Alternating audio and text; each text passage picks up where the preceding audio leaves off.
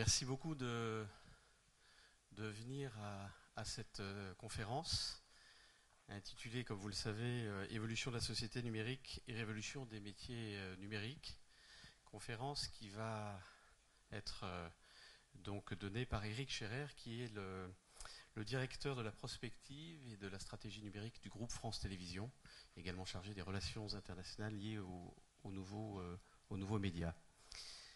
Euh, c'est important pour nous euh, d'avoir euh, la visite d'Éric Scherer, que certains d'entre vous peuvent suivre via les réseaux sociaux ou, certains d'entre vous ont pu lire aussi ces ouvrages. C'est important pour nous parce que, d'abord, en termes de date, pour NC Première, c'est notre rentrée.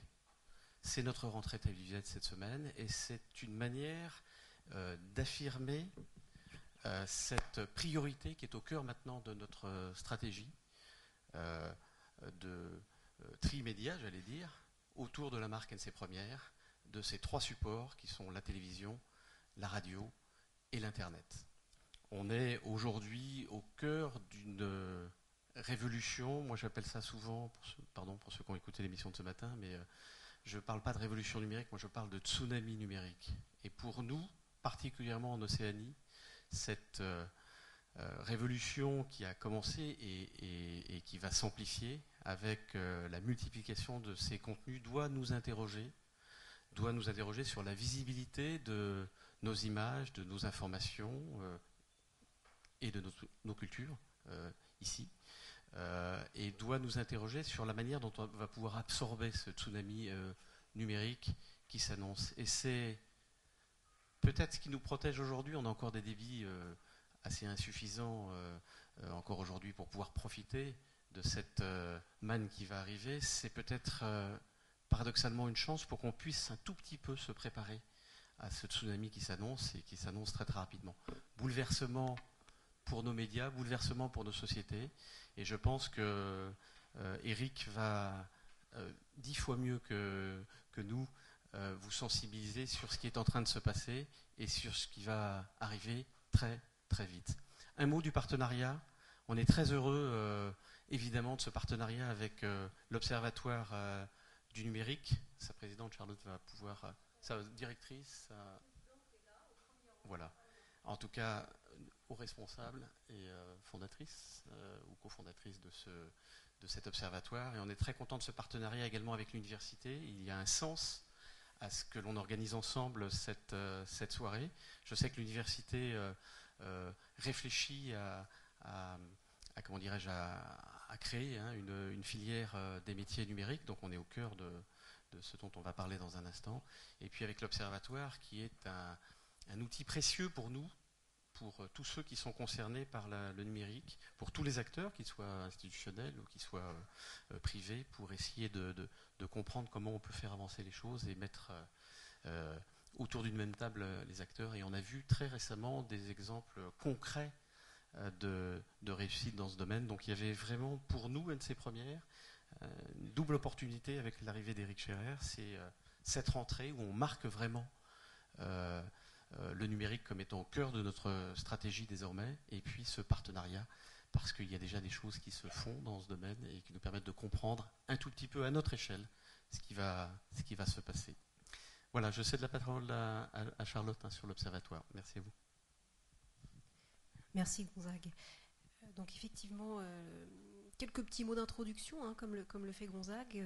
nous sommes également aussi ravis de co-organiser cet événement et d'accueillir un expert hein, euh, euh, sur ces sujets-là qui, je le souhaite, va nous rafraîchir un petit peu les, idées et nous ouvrir sûrement euh, des perspectives de réflexion.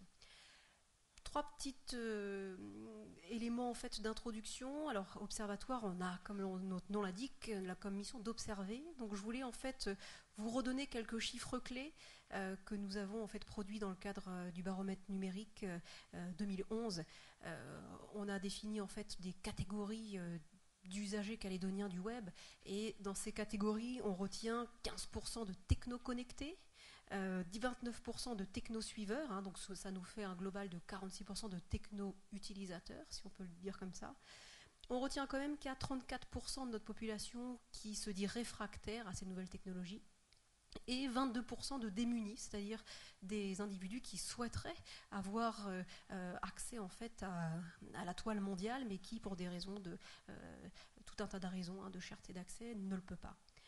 Autre chiffre clé, assez récent, hein, la source provient de l'OPT, à peu près 50 000 abonnements à Internet hein, en Calédonie à, date. c'est à peu près la moitié en fait de la population des ménages, pas de la population globale, mais des ménages. Donc ça montre déjà qu'en Calédonie, effectivement, on, est ouvert, euh, on est connecté hein, sur, euh, sur, cette toile euh, mondialisée. Sur la télé, vu que ça va être un sujet quand même aujourd'hui qu'on va traiter avec l'intervention d'Éric Scherer, là aussi les, Calédoniens ont un poste de télévision. 96% hein, d'entre eux et 55% ont même fait la transition d'un écran plat avec les promesses hein, de télé HD haute définition. On vient récemment de mettre euh, en place une étude sur les jeunes. Et on a la chance d'être accueillis aujourd'hui par l'université. On a la chance aussi, nous, observatoires, d'avoir Paola Logli comme présidente qui fait le lien justement avec l'université euh, euh, sur ces questions qui, nous taraudent. Hein. Que font les jeunes calédoniens avec le numérique? Donc là, dans une étude qu'on a voulu, un partenariat avec l'université, le gouvernement, la province sud, la province des îles, la ville de Nouméa. Nous avons déjà des premiers résultats d'études. Je vais vous en partager quelques-uns un peu en avant-première. 48% euh, des jeunes de 15-29 ans ont une tablette ou un smartphone. Euh, ont une tablette, excusez-moi. 38% ont un smartphone. Et là, on voit une évolution assez notable, car dans notre baromètre 2011, il n'y en avait que 21%. En moyenne, hein, sur la population, en 2011, c'était 16%, mais effectivement, là, c'est pareil, ce chiffre actualisé est un peu supérieur euh, aujourd'hui, hein, plutôt euh, autour des 30%. Autre chiffre, euh, clé, 122 000 comptes Facebook en janvier 2014, et dans la partie des jeunes, 64 000 d'entre eux ont un compte Facebook. Donc on voit aujourd'hui que ces réseaux sociaux aussi font partie des nouveaux canaux d'information, de diffusion, de relais d'opinion qu'il ne faut pas négliger lorsqu'on est un décideur, notamment sur, le territoire. Et dernier chiffre, euh, dans le sondage des jeunes, euh, ils disent qu'ils ont à peu près 300 amis. Euh, donc ça donne aussi une idée de la mise en réseau globale hein, de, ces jeunes de 15-29 ans. Voilà. Deuxième idée que je voulais un petit peu partager avec vous. souvent, on a tendance à dire la Calédonie, on est loin, on est en retard sur ces sujets numériques. c'est vrai que nous, on a tendance à dire non, on n'est pas en retard on est, peut-être en décalage hein, sur certains sujets de débit, euh, de, tarifs, de services, d'innovation. Mais euh, le point important, c'est que, en tout cas, hein, nous, observatoires, on, constate qu'on travaille avec des acteurs, des professionnels motivés et engagés. Je vais les passer très rapidement, hein, mais le gouvernement a mis en place sa stratégie pour l'économie numérique, 2011, euh, et travaille de façon concertée avec l'ensemble des territoires. Les provinces pareil, ont, pris ce, train du numérique euh, sur des, domaines clés, hein, sectoriels, l'éducation, euh, euh, les services en ligne. je vais très vite hein, parce que sinon, pour être exhaustif, il faudrait un peu plus long. La ville de Nouméa réfléchit à une stratégie de Smart City. donc on voit aujourd'hui des institutions motivées, conscientes des enjeux numériques et à l'écoute hein, justement des attentes du terrain. Deuxième point aussi, les professionnels et là, euh, au sein de l'Observatoire numérique, on essaye de travailler ensemble pour créer une dynamique de filière pour qu'on réfléchisse à mobiliser finalement, euh, à, mettre en éclairage aussi les atouts calédoniens hein, sur l'aspect économique, à valoriser aussi les talents existants, à réfléchir aussi sur des nouvelles euh, formations hein, pour qu'on ait des compétences aussi en, local. Euh, et ça, on sait que certains se, sont, ont alerté déjà depuis de longues dates euh, le besoin de formation locale, hein, formation continue, mais aussi professionnelle. Et dernier point, en termes d'innovation, alors on n'a pas de Silicon Valley, en tout cas la Silicon Valley du tir n'existe pas encore, mais en tout cas, on pourrait imaginer euh, en local euh, des nouveaux services, hein, une nouvelle création de valeur qui puisse permettre aux usagers hein, que nous sommes euh, de nous simplifier la vie, simplifier les démarches par exemple administratives, créer des, nouveaux services et ça veut dire aussi souvent des nouveaux métiers, des nouveaux emplois. Voilà un petit peu très rapidement, hein, parce que je pense que c'est plus intéressant d'écouter Eric Scherer que, l'Observatoire euh, numérique sur ces questions-là, où, on pourra en reparler euh, ailleurs. En allant sur le très bon blog d'Eric Scherer, alors je voulais faire un petit sondage parmi vous qui, en venant à cette réunion, a ouvert le blog d'Eric Scherer. S'il vous plaît, levez la main. Bon, vous n'êtes pas très très bon, hein, donc pour la prochaine fois. Mais en tout cas, je vous invite à y retourner après la conférence et je pense qu'Eric Scherer va vous donner envie d'y aller. Euh, moi, j'ai été trifouillée un petit peu dans une publication euh, qui s'appelle le Métamédia numéro 3, dont le titre m'a interpellée, qui s'appelait Transfert de pouvoir. Transfert de pouvoir. Quand on regarde effectivement les mots-clés, alors je prends ma tablette pour être sur le sommaire, on lit des choses comme société en réseau, médias détrônés, artistes entrepreneurs, éducation et sciences bousculées, omnivore numérique, hein, on peut peut-être s'y reconnaître. On lit aussi des choses comme euh, euh, Twitter et Facebook ne, remplacent pas encore les news, mais Google et, Facebook disent aux médias traditionnels repensez votre écriture et apprenez à coder. Euh, derniers éléments, journaliste 3.0. voilà, ces concepts-là, finalement, méritent peut-être d'être euh, explorés hein, de notre côté pour essayer d'avoir des nouvelles idées, des, nouvelles pistes d'action concrètes euh, pour la, Calédonie. Euh, et ça m'a donné envie d'un peu d'ouvrir le débat pour, pour l'intervention d'Éric Scherer en disant on a besoin aujourd'hui d'avoir effectivement des experts de votre niveau euh, pour nous ouvrir euh, euh, vers les tendances mondiales. C'est vrai que nous, on a souvent l'impression d'être un peu dans une bulle.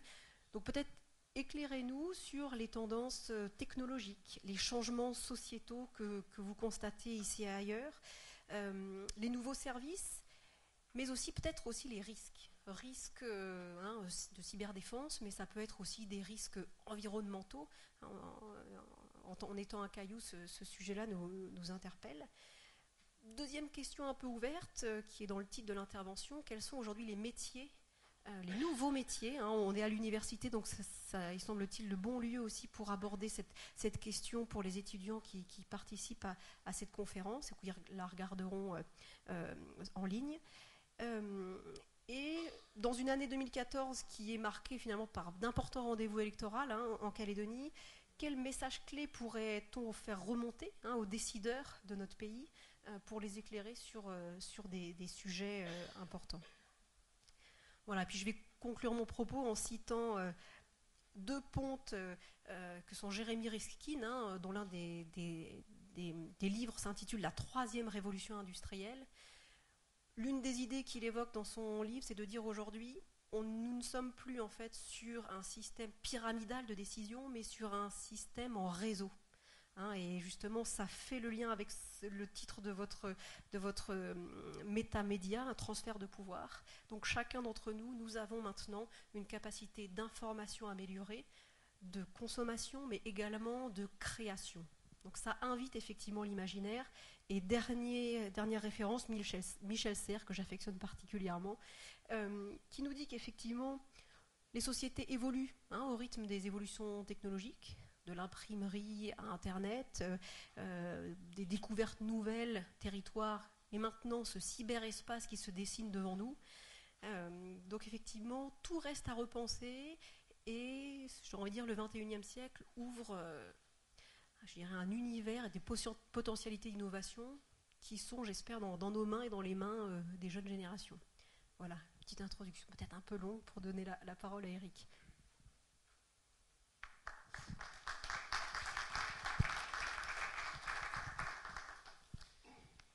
Merci, merci beaucoup, merci infiniment de, m'accueillir ce soir parmi vous. Bonsoir à, bonsoir à tous.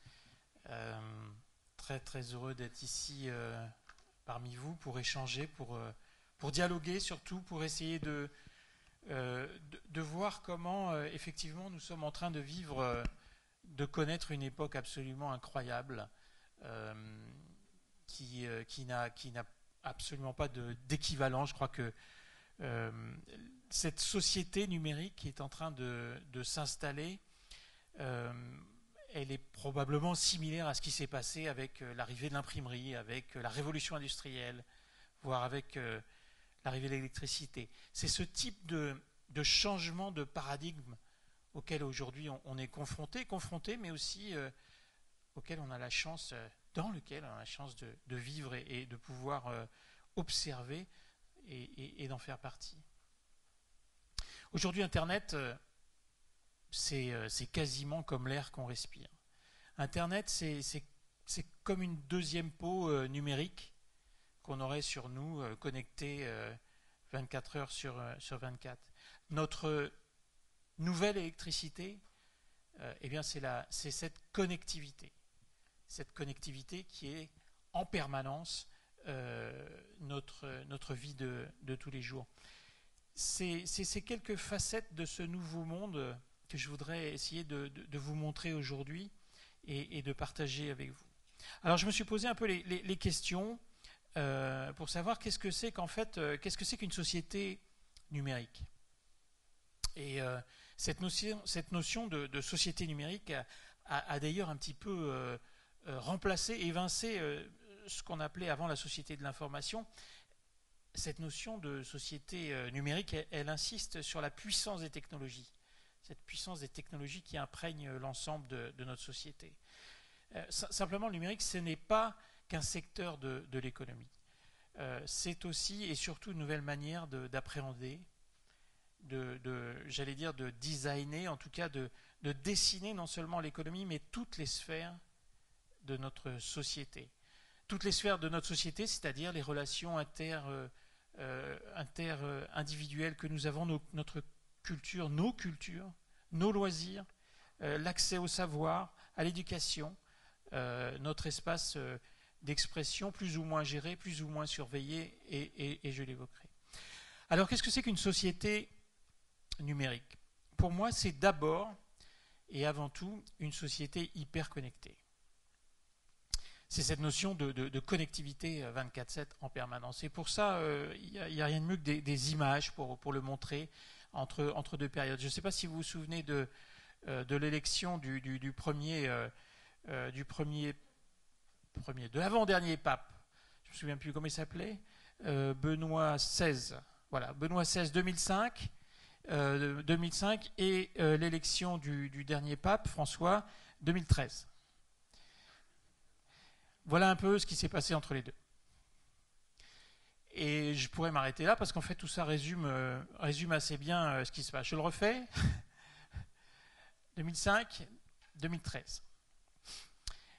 Euh,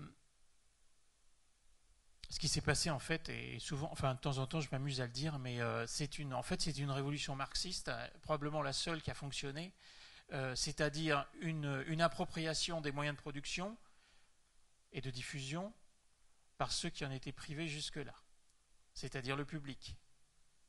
Le public s'approprie, nous prend des mains nos outils de production et de diffusion euh, et, s'en sert. Et vous le voyez, ne va pas, et d'ailleurs on le sait maintenant, ne va pas garder sur son disque dur ou sur les puces des appareils photo ces documents, ces photos, euh, c'est vrai en Italie, c'est vrai en Angleterre, euh, mais va les partager. Et les partager de manière massive. Euh, c'est ça qu'on appelle le Web 2.0. Je viendrai après sur les prochaines évolutions. C'est ça le Web 2.0, c'est cette appropriation, c'est le fait que on est passé d'un Internet finalement de publication, un Internet qui, euh, était euh, assez contemplatif, à un vrai Internet participatif, où les gens se sont saisis, se sont aperçus qu'ils pouvaient se mettre à publier. 500 ans, il y a 500 ans, c'était l'arrivée de de l'imprimerie, c'était la démocratisation de la lecture. Aujourd'hui, c'est la démocratisation de l'écriture. Cette démocratisation de la prise de parole. Alors vous avez euh, tout un tas de, comportements euh, nouveaux qu'on ne pensait pas qui existaient il y, a, quelque temps. Ce pauvre monsieur a sûrement oublié en rouge son, smartphone. Il est rare aujourd'hui en Europe, euh, en Europe occidentale de voir des journaux, dans les, métros, dans les trains. Euh, c'est vrai un petit peu partout euh, désormais dans le monde. C'est notre nouvelle vie euh, connectée, qu'on le veuille ou non. C'est la réalité d'aujourd'hui. Alors qu'est-ce qu'il y a derrière? Derrière, il y a des nouveaux usages. Une formidable, une énorme, gigantesque appétit pour ces nouvelles technologies, pour ces nouveaux appareils, pour ces nouvelles portes, ces nouvelles fenêtres sur le monde, qui sont permises d'abord, on l'a vu par les ordinateurs personnels, mais ces ordinateurs sont en train de laisser la place à tout un tas d'autres terminaux dont, dont, je vais parler pas mal aujourd'hui. évidemment le smartphone et puis, la tablette smartphones, tablettes, qui euh, en quelques années sont en train de, une nouvelle fois, transformer notre environnement. On parlait, de, on parlait souvent depuis une dizaine, quinzaine d'années des digital natives. Je pense qu'il faut désormais parler des mobile natives. Ce sont les derniers, euh, nos enfants, euh, qui se servent aujourd'hui désormais plus des smartphones, des tablettes que des ordinateurs. Les tablettes absolument extraordinaire. Comme, et vous en êtes un, exemple ici en Nouvelle-Calédonie. Quand vous dites tout à l'heure que la moitié des jeunes possèdent une tablette, vous êtes déjà loin des scores, bien au-dessus des scores euh, euh, de la métropole. C'est vrai aujourd'hui dans, dans, la plupart des pays, euh, des pays riches. Et, et, la pénétration des smartphones a fait ces deux dernières années des, des taux absolument records. On, est passé, on a dépassé la moitié de la population pour l'ensemble de, l'Amérique du Nord et de l'Europe occidentale, sans parler évidemment de, l'Asie.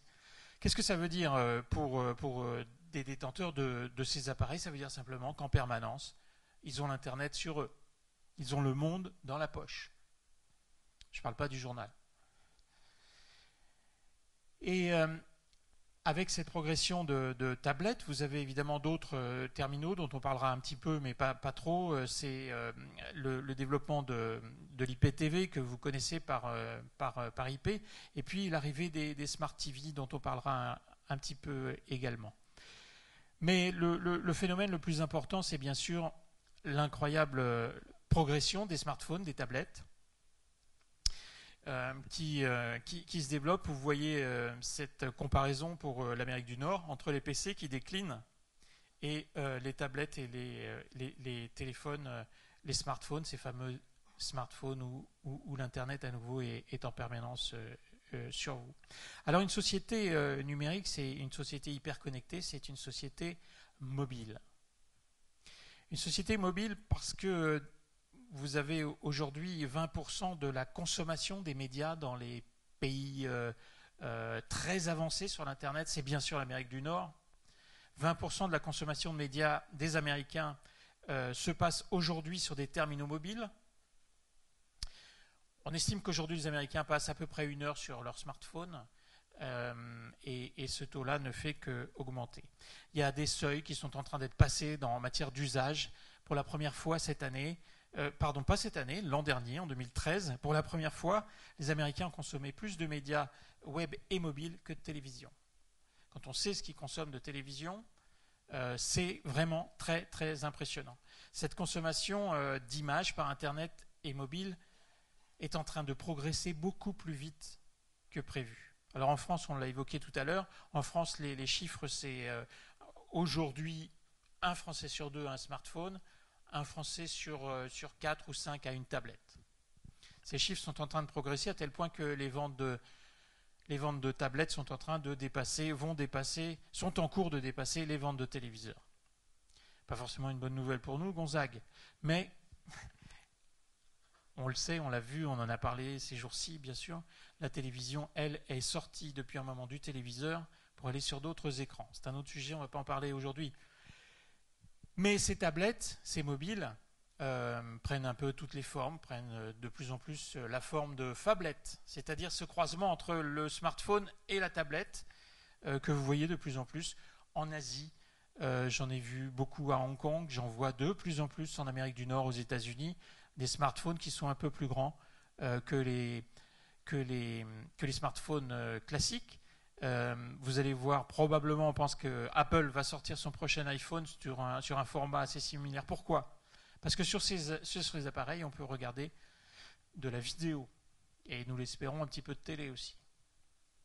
Voilà l'une des, raisons principales. Il n'y a aucune raison qu'on on, reste cantonné à un demi-paquet de cigarettes euh, pour euh, passer l'ensemble de sa journée sur, sur des écrans minuscules. Regardez ce, diagramme qui montre qu'en Asie-Pacifique, si on met de côté le Japon, les, ces ventes de phablettes, ces fameuses phablettes de téléphones beaucoup plus importants que les téléphones classiques, sont en train d'exploser, sont en train de se développer à toute vitesse. Alors cette société numérique, elle est hyper connectée, elle est connectée et mobile, et surtout, elle nous permet de rentrer dans ce qu'on appelle une ère de la connectivité euh, permanente. Ça, c'est la prochaine étape. On n'y est pas encore, on n'y est pas encore tout à fait. Qu'est-ce que c'est l'ère de la connectivité permanente? J'allais dire, c'est un petit peu l'Internet de tout. En tout cas, c'est déjà, et c'est très très bientôt, l'Internet des objets, l'Internet de notre environnement, euh, parce que jusqu'ici, on a eu l'Internet des hommes, reliés entre eux, par, ces moyens assez extraordinaires.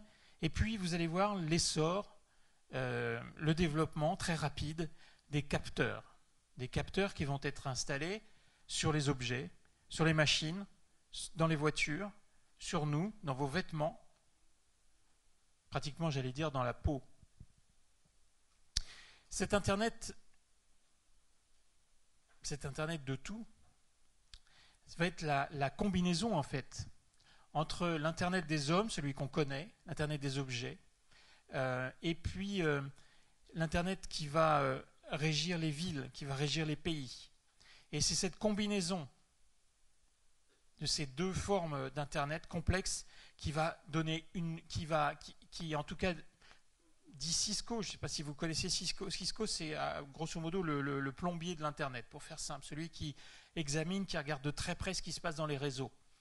Et le patron de Cisco que j'ai entendu euh, en janvier à Las Vegas et que j'ai réentendu, réécouté la semaine dernière à Barcelone lors du congrès euh, des mobiles, nous dit vous, vous n'avez encore rien vu. Ah, ça allait déjà pas mal assez vite, mais je vous donne sa citation. Euh, ce qui se prépare dans, les prochaines années, d'ici la fin de la décennie, sera 5 à 10 fois plus puissant que l'arrivée de l'Internet que nous avons connu jusqu'ici.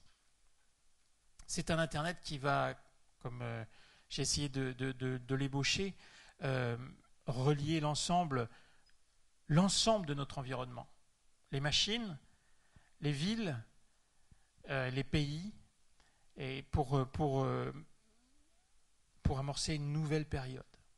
Alors on s'arrête un petit peu sur, euh, ce qu'on voit en tout cas se, dessiner devant nous et qui, euh, qui existe déjà. Ce sont ce qu'on appelle les wearables, c'est-à-dire ces objets connectés dotés de capteurs que nous allons porter sur nous de plus en plus. Alors les montres connectées, les lunettes connectées, les fameuses Google Glass, mais il n'y a pas que les Google Glass puisque Samsung euh, et l'ensemble des constructeurs travaillent sur ce type de, d'appareils qui donnent une, réalité augmentée à celle, à celle que vous connaissez.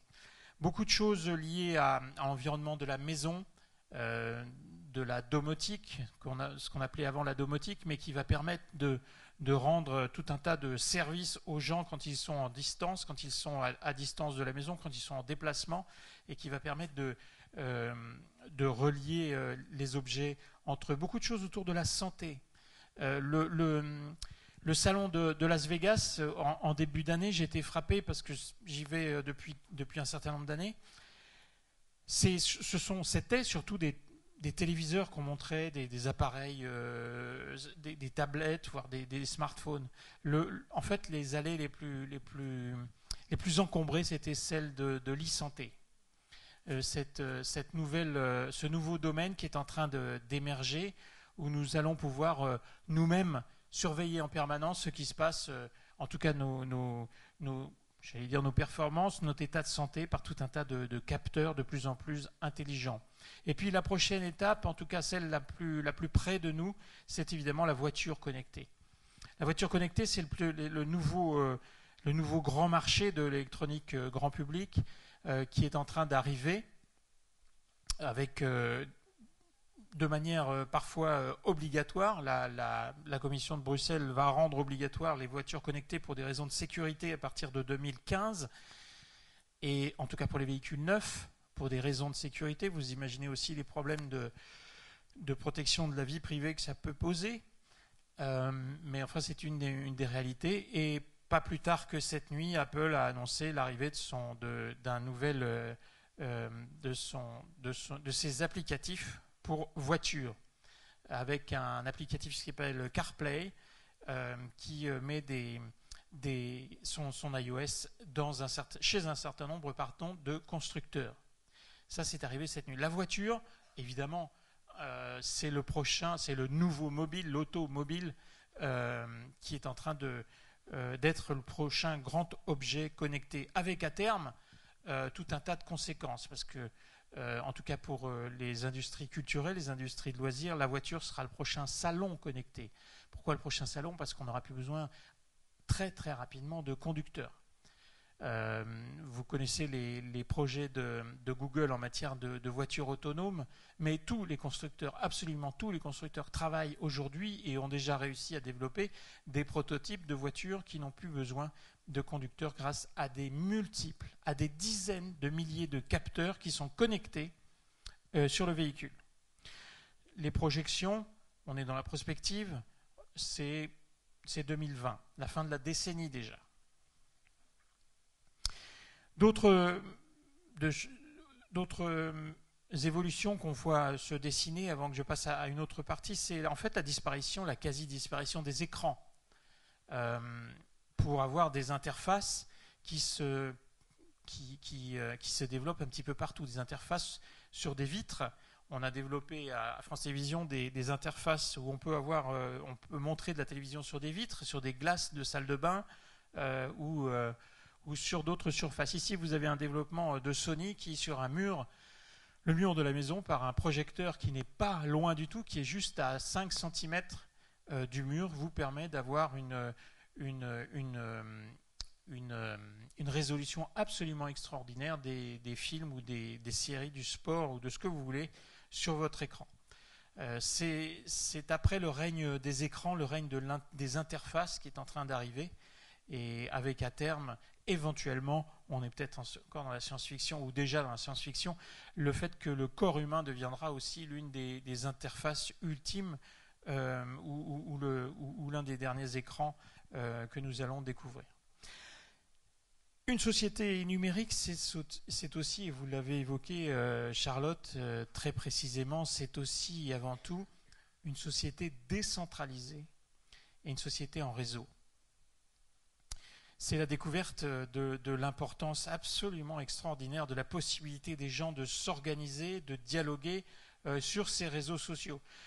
Vous connaissez les chiffres, mais ça fait pas de mal de, les revoir très rapidement. Ces chiffres sont absolument euh, considérables.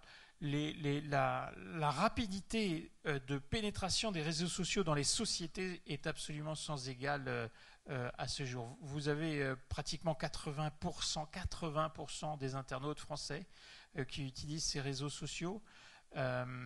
La, moitié d'entre eux ont, entre 25 et 45 ans. La plupart, les deux tiers, se connectent au moins une fois par jour.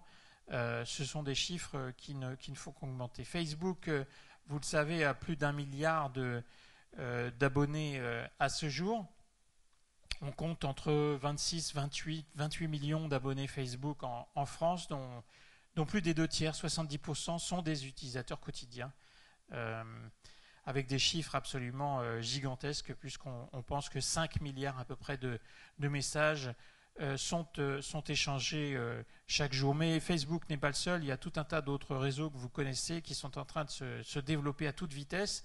Twitter peut-être un peu, plus, un peu moins connu ici un peu moins utilisé en, Nouvelle-Calédonie.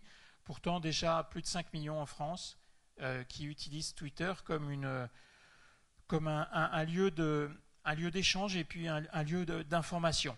Un Twitter, c'est finalement, après tout, c'est, pas autre chose qu'une agence de presse euh, qui est euh, gratuite, mondiale, personnalisée, 24 heures sur 24, à condition de choisir les, bonnes personnes et les bons comptes des chiffres assez incroyables d'utilisation de, Twitter euh, euh, par jour, euh, puisqu'on estime qu'il y, a plusieurs millions de tweets qui sont émis chaque jour en relation avec les programmes de télévision, par exemple, et, des chiffres qui ne font que croître. Qu'est-ce que c'est qu'une utilisation de Twitter en, relation ou en liaison avec un, programme de télévision? Ben, C'est simplement une C'est simplement une conversation de, cantine ou de machine à café qui se passe en, temps réel, euh, qui se passe en même temps que le programme. On n'attend plus le lendemain matin la cour de récré pour, euh, ou, encore une fois le bistrot pour parler d'un programme. On en parle tout de suite en même temps euh, sur, sur ces réseaux. C'est l'un des exemples. Il y en a absolument plein plein d'autres. vous devez connaître, je pense, LinkedIn. LinkedIn est un réseau social professionnel. les gens, enfin, les, une grande partie des gens sont présents sur ce réseau professionnel euh, pour, euh, pour simplement, euh, quand ils sont en, début de carrière, pour, pour, se, pour présenter leur, CV, pour se faire connaître, et puis par la suite pour créer un réseau. 200 millions à peu près de personnes sont sur ce réseau américain et, et près de 200 000 personnes s'inscrivent tous les jours sur ce réseau-là.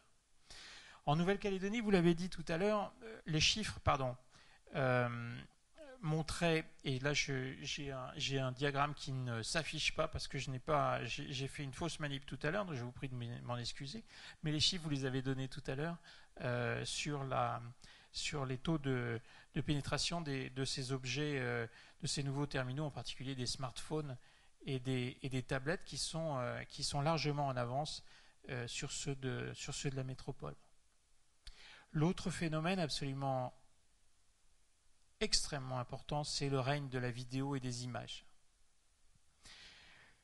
Nous sommes en train de, connaître un nouveau type d'Internet. Un Internet qui n'est plus un Internet de texte ou de photos, mais qui est bien un Internet euh, audiovisuel. On bascule vers un, un, Internet audiovisuel avec des acteurs majeurs que vous connaissez tous. Ces acteurs majeurs, c'est bien sûr YouTube, avec son milliard, là aussi, euh, d'utilisateurs. 26, euh, 28 millions de personnes aujourd'hui utilisent YouTube en France. Des milliards de vidéos sont vues chaque jour. Et euh, vous avez ce chiffre absolument sidérant. Tout à l'heure, vous vous souvenez de ces, de ces gens qui prenaient des photos euh, sur, la place Saint-Pierre ou qui prenaient des vidéos. YouTube accueille chaque minute chaque minute 100 heures de vidéos qui sont mises en ligne. 100 heures de vidéos sont postées, ne sont pas téléchargées, sont postées en ligne par les internautes. Ce sont des chiffres absolument colossaux euh, de, de, contenu et de partage qui sont mis en ligne dans le monde entier. Vous voyez que la vidéo est en train de prendre une, une part euh, absolument gigantesque d'Internet euh, la vidéo, la photo, vous, êtes aussi peut-être familier avec Instagram. Instagram racheté par Facebook euh, récemment, qui en, quelques années a conquis le monde, est en train de, s'imposer aussi dans la vidéo avec, euh, d'autres applications. Instagram, c'est 2 millions déjà de personnes en France qui utilisent cette application de, de Facebook, cette application de photo. Pinterest, autre, autre type de réseau social, beaucoup plus euh, sur l'image et sur la, sur la qualité des, des, euh, photographies ou des, ou des images qui sont partagées, beaucoup plus féminin également. Premier site, premier réseau social pour l'e-commerce aujourd'hui. Avec tous ces réseaux, ces, ces fameux réseaux sociaux qui, qui, euh, qui sont en train de, de dominer, on, voit bien que, le public a pris la parole. Ce fameux transfert de pouvoir est en train de se faire. Les gens ont pris la parole. Les gens ont pris la parole et s'organisent. Ils s'organisent dans des campagnes de mobilisation. Ils s'organisent de manière euh, euh, souvent euh, en court-circuitant les partis politiques. Ils s'organisent en, en, créant des associations au-delà des, au-delà des villes, au-delà des territoires, au-delà des, villages. Euh, des campagnes de mobilisation sont en train d'être euh, euh, montées, parfois réussissent à renverser des projets de loi. On pense à certains projets de loi sur Internet aux États-Unis. On pense à des sites de, pétitions pardon, en ligne qui sont en train de se développer à toute vitesse quand des sujets sont majeurs ou sont assez importants pour mobiliser euh. Et puis vous avez encore en, mémoire, je pense, les photos du, euh, du, printemps arabe, les photos de, des mobilisations autour de, du mouvement Occupy aux États-Unis, des anonymes aux États-Unis, des mouvements de protestation dans, un certain nombre de, pays qui dessinent finalement un nouveau monde, un monde où est en train de croître une, finalement une défiance, une défiance vis-à-vis du monde politique, une défiance vis-à-vis du monde des médias, une défiance vis-à-vis du monde économique, éducatif parfois, pardon, une défiance vis-à-vis d'un monde de surplomb. Et, euh, c'est l'une des choses les, plus importantes qui est en train de se passer, cette ce fameux transfert de pouvoir entre euh, ceux qui le détenaient avant et ceux qui sont en train de s'en emparer aujourd'hui. La troisième chose, à mon avis, qui caractérise, une société numérique, c'est en fait un, paradoxe entre une société de l'illimité, de l'infiniment grand, et une société de la personnalisation. Alors, société de l'illimité parce que, parce que ces fameux contenus, ces fameux euh, ces fameux bits de, de, contenu numérique, ces fameux 1 et 0, sont en train de créer une, une, gigantesque, Gonzague parlait de tsunami, une gigantesque vague euh, de, de contenus qui sont en train d'être créés, créés par nous tous. Avant, jusqu'au début du XXIe siècle, cette création, cette création de contenu, de textes, de photos et de vidéos était entre les mains de quelques-uns. Et aujourd'hui, cette masse incroyable, gigantesque, ce qu'on appelle le big data, est en train de déferler sur l'ensemble de, la planète. Imaginez que 90% des données ont, été créées ces deux dernières années seulement. On n'est qu'au tout début, au tout début de l'ère de la donnée, de l'ère de, de ce qu'on appelle le, le big data. Alors, pour l'illustrer un petit peu, je vais parler de, de ses conséquences pour le secteur que je connais le mieux, c'est-à-dire le, secteur des médias. Cette explosion de, contenu, cette surabondance, on était avant dans un monde avec quelques journaux, une poignée de chaînes de radio, quelques chaînes de télé. Et puis on est confronté à des millions et des millions de, tweets ou de sites web ou d'applications, et demain de, de, chaînes, euh, de chaînes YouTube qui vont se créer à l'appel on est en train de transformer notre, notre secteur en, On était dans une, dans une économie de l'offre où, tout était décidé par ceux qui émettaient et on est en train de passer dans une économie de la demande. On passe du push, c'est-à-dire de ce qui est poussé vers les gens, à ce qui est tiré par les gens, à ce qui est cherché par les gens. Et, euh, c'est en train de tout changer. Pour les médias, ça a pas mal de conséquences. Euh, et on est en train de suivre de très près ces nouveaux usages, ces nouveaux usages qui sont déterminés par ces nouvelles technologies. L'une des choses qu'on voit euh, se dessiner aujourd'hui, c'est le succès de la consommation en streaming.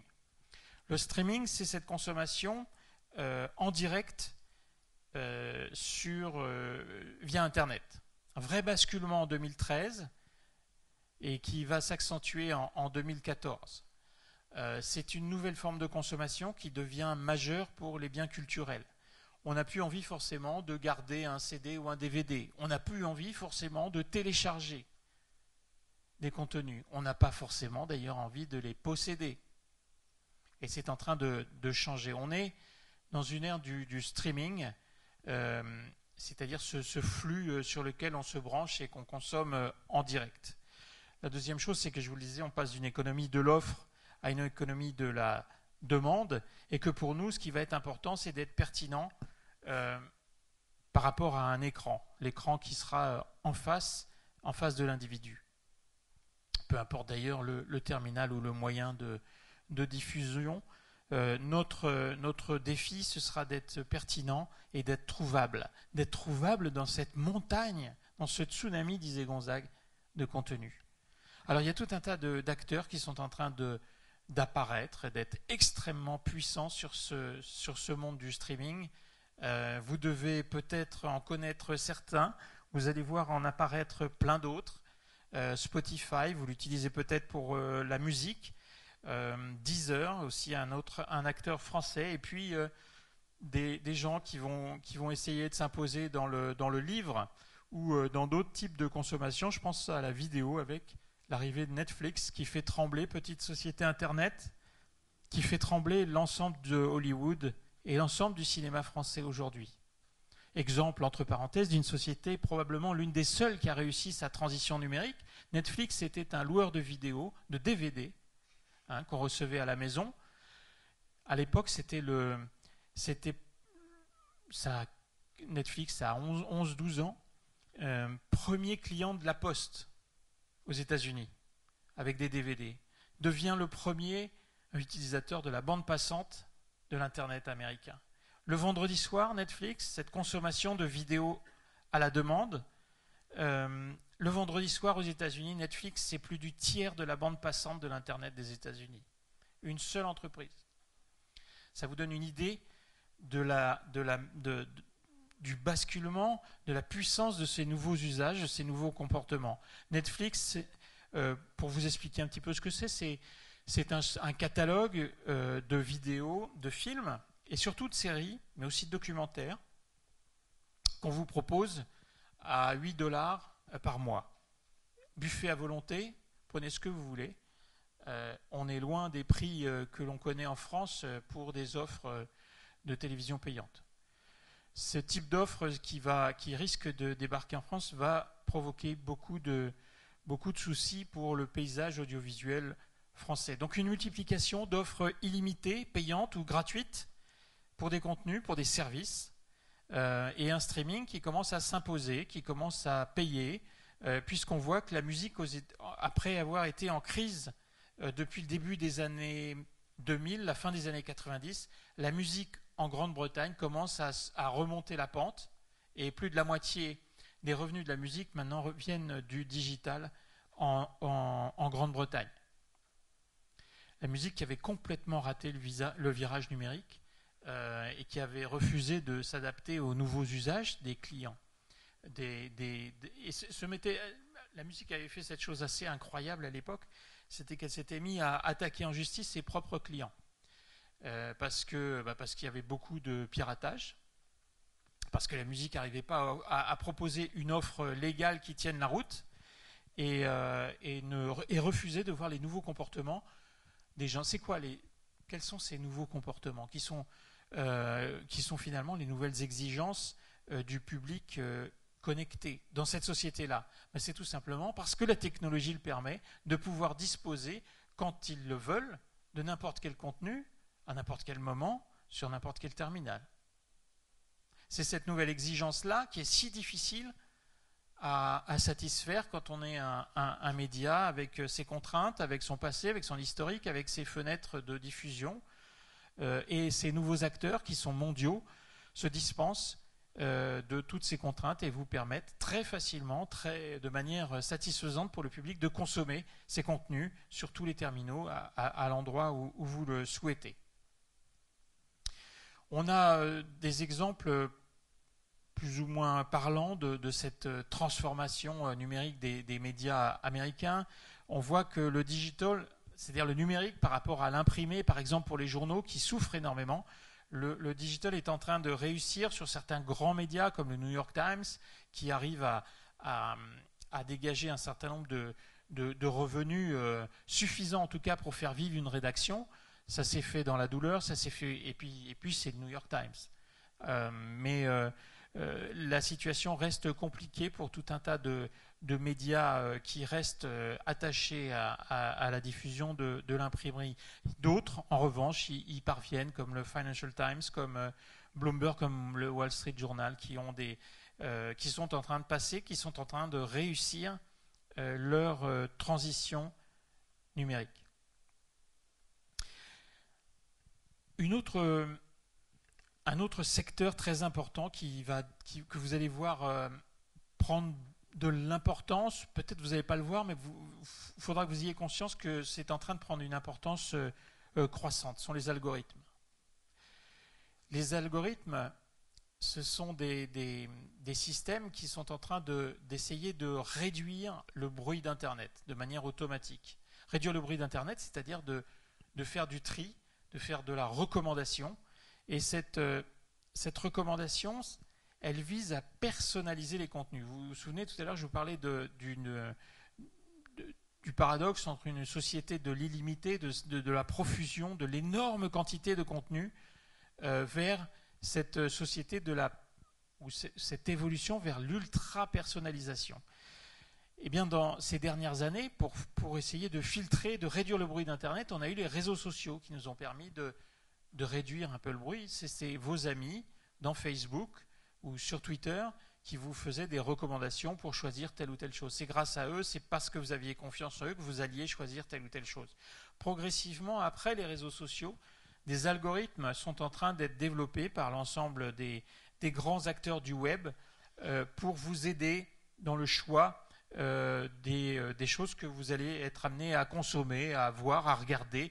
Pensez aux algorithmes d'Amazon quand vous commander un, bouquin qui est en train de vous proposer un bouquin similaire pour vos lectures, par exemple. On a travaillé à France Télévisions, je vous donne un, petit exemple, mais, on utilise euh, de plus en plus ces algorithmes. Ces algorithmes nous ont permis l'année dernière, quand on a, fait un test, on fait un peu de RD aussi à, France Télé, on, a fait un test avec IBM et on a mis en place ça pour l'Eurovision 2012.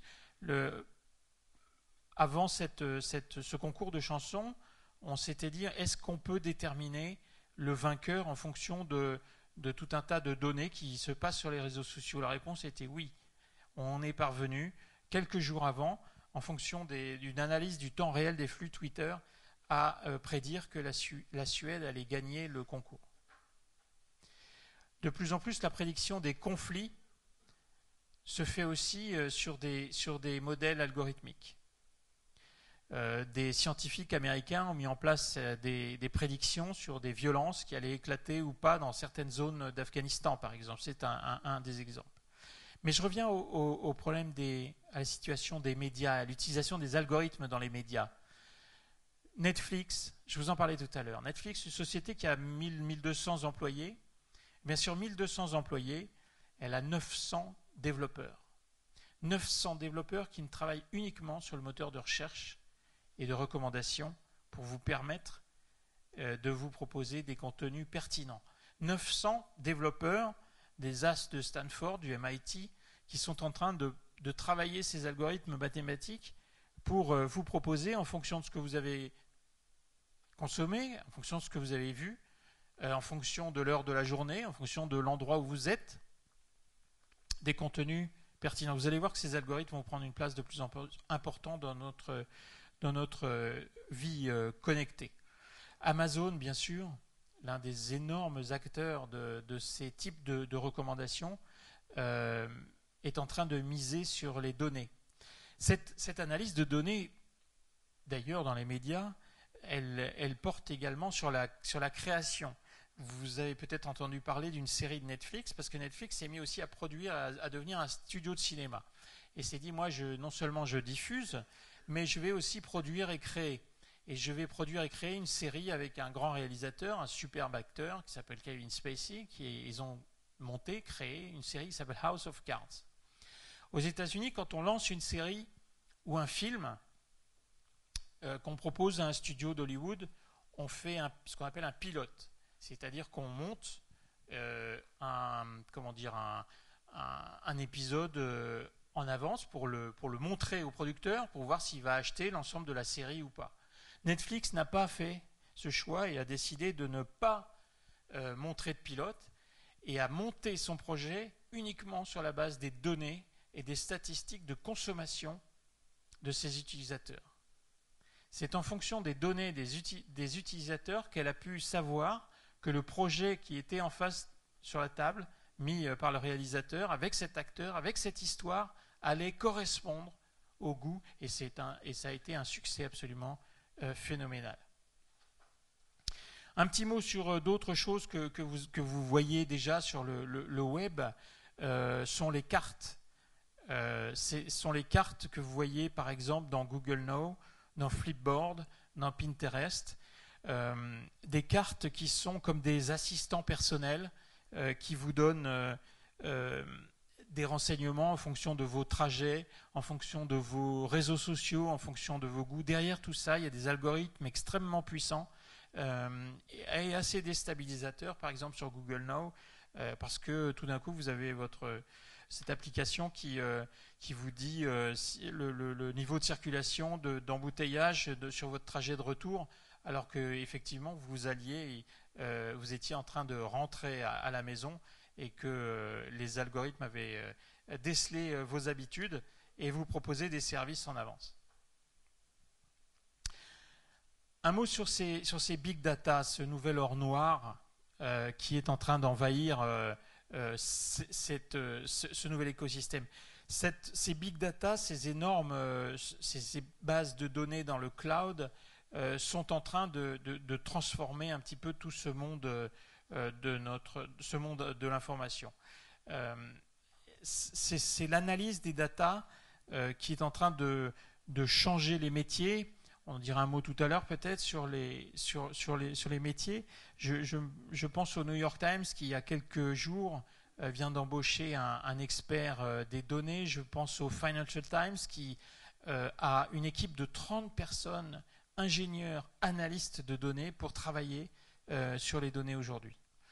Euh, c'est en train de changer l'ensemble. Ceux qui travaillent sur les données sont évidemment là pour euh, proposer des services, sont là pour profiter euh, d'une manière ou d'une autre des données qu'on leur, leur lâche. Et c'est un autre sujet qu'on, qu'on effleurera aussi tout à l'heure. Cette convergence des médias et de la technologie est en train de, s'accélérer dans ce qu'on appelle aussi le deep learning.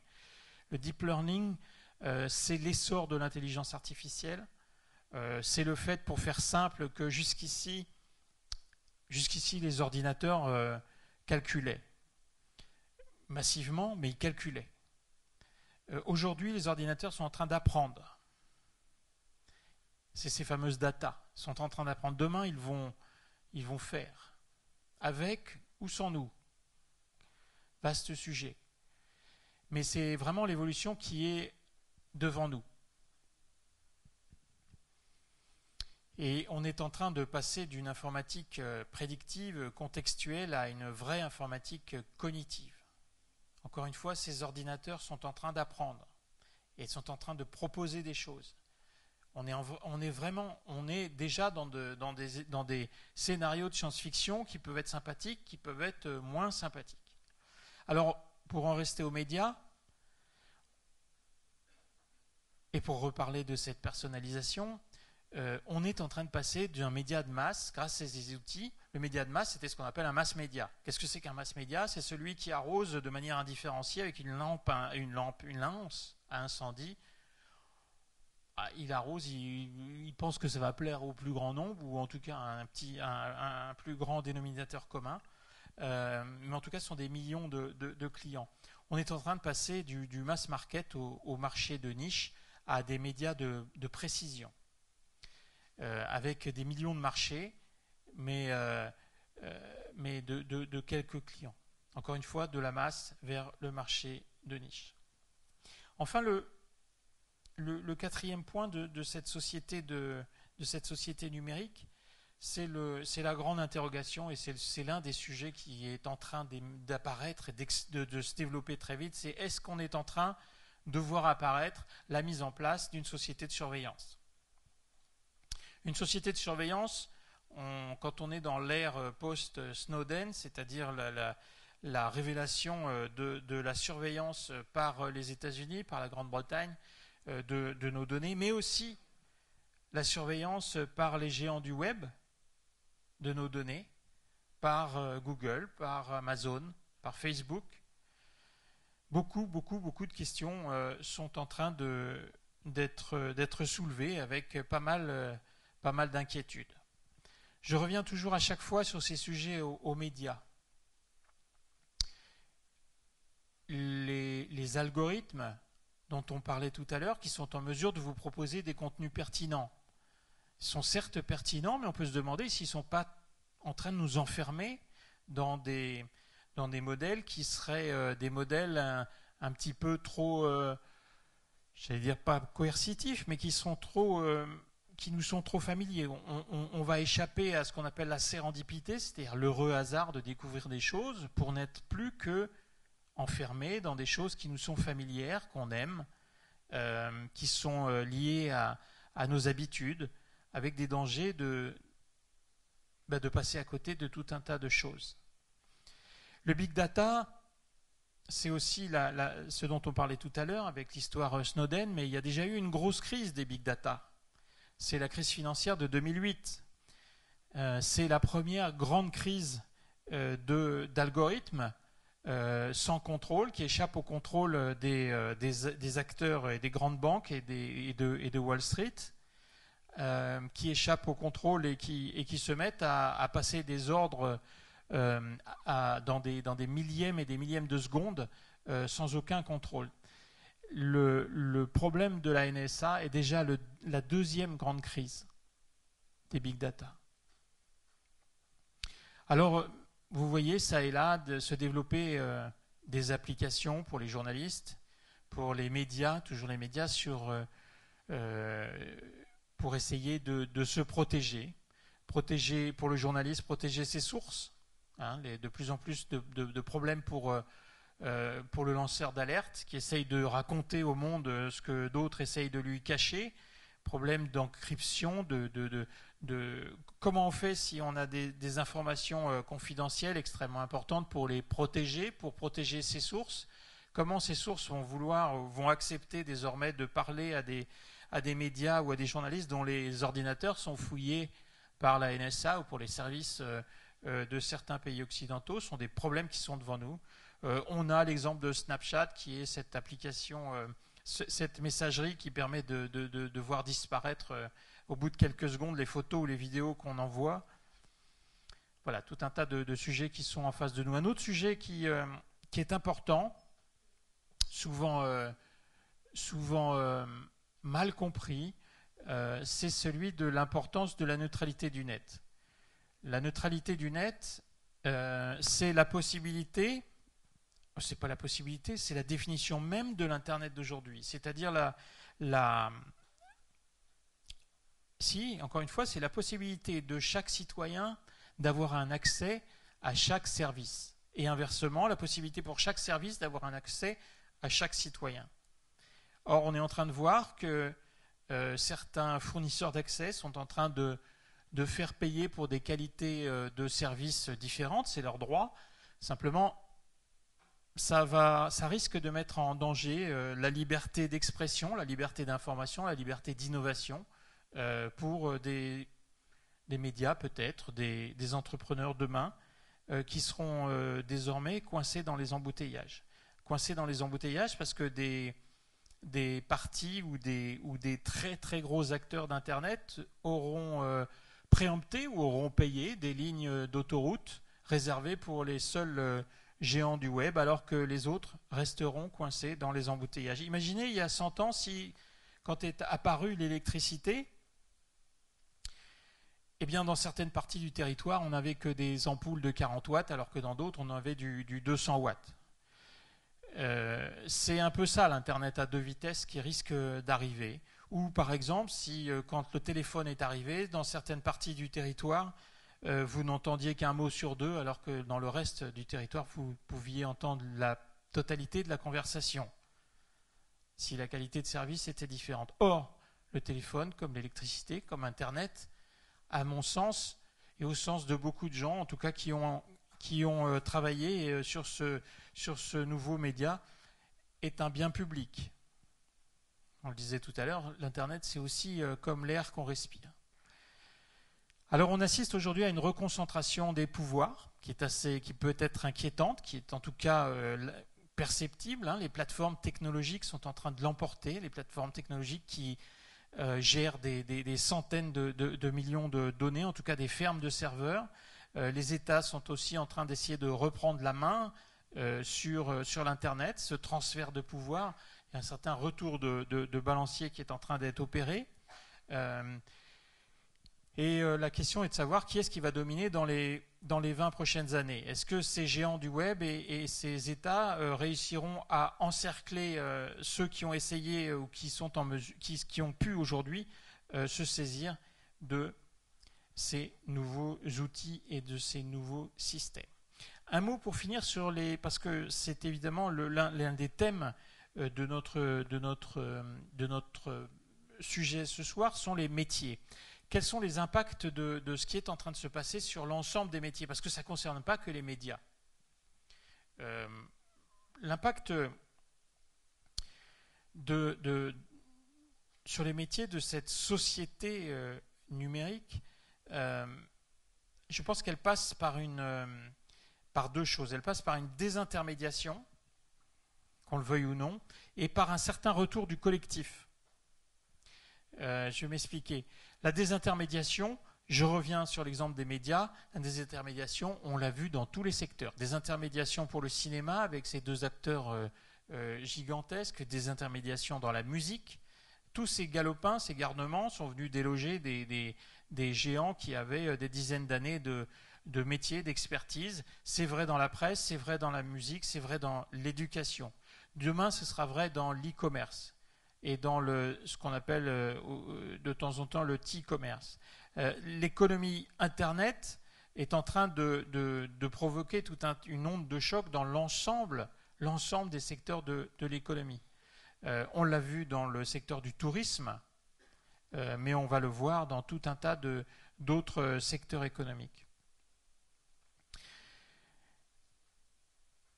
Des nouveaux métiers apparaissent, des nouveaux secteurs d'activité apparaissent par, cette mise en, réseau. Je pense à, la mise à disposition de capacités euh, qui ne sont pas utilisées. Je pense au covoiturage qu'on voit se développer assez vite. Je pense au coworking qui existe depuis un moment, à des sites comme Airbnb euh, mais aussi au financement, financement euh, euh, collectif, au financement par la foule, avec Kickstarter. Kickstarter cette année a annoncé, pas cette année, a annoncé hier, je crois que c'est hier, a annoncé ce chiffre incroyable d'avoir réussi à, lever un milliard de dollars auprès de, plusieurs millions de personnes. C'est ce type de nouveau financement par les réseaux, par la foule, qui est en train de, changer aussi euh, considérablement euh, la donne. Des tas de projets sont financés, ça peut être des, outils, ça peut être des objets euh, high-tech, mais ça peut être aussi des livres ou des, films. La culture du do-it-yourself, hein, qui est en train de, se développer aussi très vite en parallèle avec l'apparition des tutoriels, l'apparition de, nouveaux modèles low cost, de modèles open source, euh, de, tout un tas de contenus et de productions, de produits de qualité pardon, qui sont euh, réalisés grâce à ces nouvelles technologies. Des nouveaux moyens de production, je reviens encore une fois aux médias, des nouveaux moyens de production qu'on voit apparaître, beaucoup plus mobiles, beaucoup moins chers, avec des coûts de revient beaucoup plus faibles. Hein, je disais tout à l'heure à, France Télévisions, un smartphone aujourd'hui, c'est non seulement une caméra haute définition, mais c'est une station de télévision dans sa poche qui peut diffuser en direct sur Internet, avec des coûts de streaming assez faibles. Euh, vous avez tout un tas de, nouveaux outils qui sont en train de se, développer. Je pense à la télémédecine ou la vidéoconférence qui permet des diagnostics. Euh, je crois que vous l'avez développé ici en, Nouvelle-Calédonie. Euh, tout un tas de nouvelles applications et d'externalisation dans le cloud euh, qui est en train de se développer à toute vitesse avec des, applicatifs que vous connaissez comme Dropbox, euh, mais aussi euh, ce, qui arrive aussi devant nous, c'est l'imprimante en 3D. Ces imprimantes en 3D qui sont en train de se, se banaliser.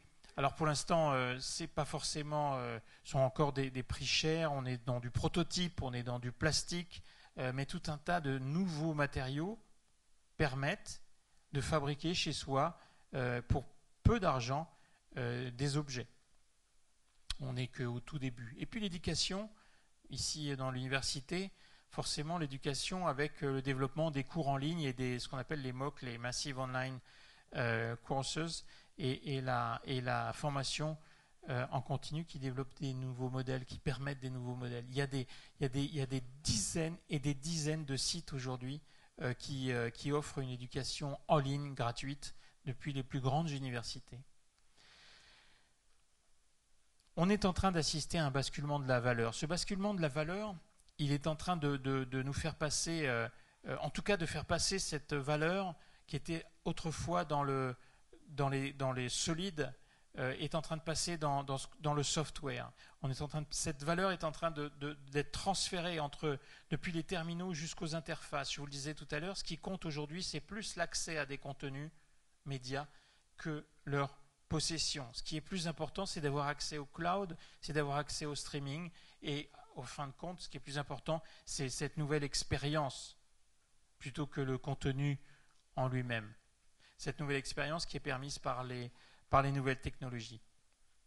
Alors cette innovation, elle surgit de manière extrêmement décentralisée, euh, elle surgit euh, euh, très très rapidement, elle surgit depuis tous les pays du monde, elle surgit par des unités très très petites, très agiles. je le dis souvent, nos concurrents ne sont pas forcément les chaînes de télévision classiques qu'on imagine, nous, France Télévisions, mais probablement des, acteurs talentueux qui vont monter leur chaîne YouTube. Et puis, euh, vous avez parallèlement à ça des choses plus inquiétantes qui se dessinent, comme euh, euh, ceux qui sont en train de maîtriser le code et, qui sont les seuls à maîtriser. Certains parlent de l'apparition d'une nouvelle classe princière de, sachants, de ceux qui, qui, maîtrisent, alors que le reste de la population ne maîtrise pas le code la Grande-Bretagne est en train d'imposer, les pays nordiques sont en train d'imposer euh, l'apprentissage de la programmation et du code euh, qui devient le nouveau latin dans les écoles euh, primaires. On a de plus en plus des exemples aussi d'alliances entre les hommes et, les ordinateurs pour travailler sur ces, sur ces nouveaux modèles. L'une des choses qui est assez inquiétante, euh, et qui est en train de, se dérouler, c'est que inquiétante et, fascinante. Pour faire simple, le numérique, c'est quoi? C'est trois adjectifs, le numérique. C'est moins cher, c'est plus rapide et c'est plus pratique. Euh, mais en même temps, c'est en train de, provoquer une concentration de richesse absolument extraordinaire entre les mains de quelques-uns, entre les mains des, géants du web. Euh, ce sont ces mêmes géants du web qui sont en train de contrôler tout ce dont je vous ai parlé juste avant. Ce sont ces fameuses données. Et, euh, ce sont ces géants du web qui ont ces fermes de serveurs, qui sont en train de mouliner, d'ingérer ces datas et d'en profiter. Il y a vraiment une course en ce moment qui est en train de se passer, j'allais dire presque entre l'homme et la machine. Euh, c'est le patron de Google qui, en janvier, le mois dernier, avertissait euh, le forum de Davos en disant attention, euh, surveillez de près ce qui est en train de se passer entre l'homme et la machine, entre cette, dans cette course, parce qu'il faut évidemment que euh, l'homme, au bout du compte, soit en mesure de, gagner. Il y a tout un tas de, gens qui, qui, estiment qu'il n'est pas forcément sûr, et on est dans des scénarios de science-fiction, mais si vous connaissez le, le principe de la singularité qui est développé par certains euh, scientifiques, par certains auteurs qui pensent que dans quelques décennies, peut-être euh, quelques centaines d'années, les, machines euh, seront tellement puissantes, intelligentes qu'on en aura perdu le contrôle. Tout ça parce qu'il y a une loi en informatique aujourd'hui qui n'a jamais été démentie, c'est la fameuse loi de Moore, qui fait que tous les 18 mois, tous les deux ans, la puissance des ordinateurs double.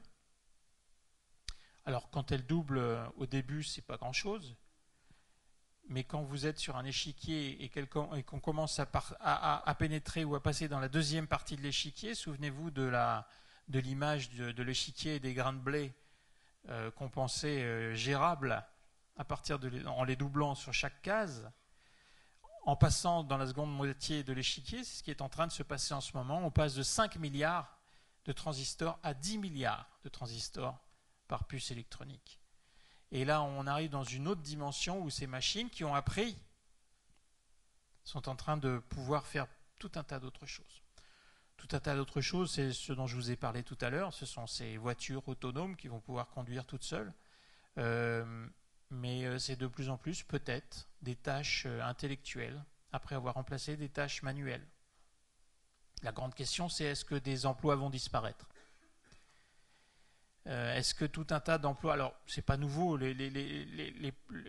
l'arrivée de l'agriculture euh, intensive, le taylorisme avec l'industrialisation au XXe siècle ont provoqué tout un tas de, gains de productivité qui ont provoqué effectivement des suppressions d'emplois. mais, mais, cette nouvelle puissance des machines est en train de, déstabiliser les, les, les, modèles économiques et ce n'est pas tout à fait un hasard si Obama, dans son discours sur l'état de l'Union cette année, a, fait porter absolument tout l'essentiel de son discours sur la préservation de la classe moyenne américaine. Alors comment on fait face à ce déluge Et j'en aurai fini dans, une minute ou deux. Comment on fait face à ce, déluge? Moi, je vous propose 4-5 euh, euh, pistes, mais on, peut, on, peut, en parler si vous le souhaitez. Je pense que la première chose, c'est poser les bonnes questions. Euh, poser la bonne question, euh, c'est résoudre tout un tas de, problèmes et profiter, essayer de profiter de ces machines. C'est aussi s'entourer des experts et des meilleurs experts dans votre secteur, avec les compétences clés que sont, euh, euh, que sont le code, que sont la programmation. Aujourd'hui en France, on moque de développeurs qui sont en train de partir dans la Silicon Valley parce qu'ils sont payés des fortunes. J'ai vu encore pas hier un article dans la presse américaine qui nous disait qu'un stagiaire chez Facebook, un stagiaire, gagne plus que le salaire moyen d'un salarié américain.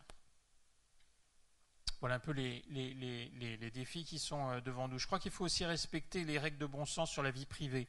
Je pense que ceux qui seront data friendly, c'est-à-dire qui, euh, qui, diront aux gens ce qu'ils font de leurs data, ce qu'ils font de leurs données, comment ils les utilisent, comment ils les avec qui ils les partagent, qu'est-ce qu'ils en font, je pense que cette confiance qu'on pourra avoir euh, dans, dans la relation avec euh, euh, la société Internet est, est, essentielle et, devant nous. il faudra aussi fournir ces données de manière ponctuelle parce que pouvoir les utiliser, c'est aussi pouvoir les utiliser au bon moment. mais ça, ça sera, le, ça sera le rôle de ceux qui iront à, les utiliser, les regrouper aussi de, manière, euh, de manière différente. Je pense à, l'association des données avec d'autres données. Pour terminer, je crois que le principal défi, et si vous avez, si vous êtes, euh, si vous avez un petit peu suivi toutes ces évolutions, je crois que le, principal défi qui est devant nous dans cette nouvelle société numérique, qui est pleine de potentiel et puis pleine, de défis, pleine d'inquiétudes finalement, euh, c'est de trouver ensemble une éthique du numérique. Cette éthique du numérique, nous ne l'avons pas encore trouvée, elle est, encore à, à, mettre en œuvre. C'est un travail qui doit se faire aussi bien au niveau des entreprises que des citoyens, que des États. Euh, mais c'est une, ça devient de plus en plus critique et de plus en plus nécessaire. Voilà, merci beaucoup. Et je suis euh, prêt à répondre à vos questions.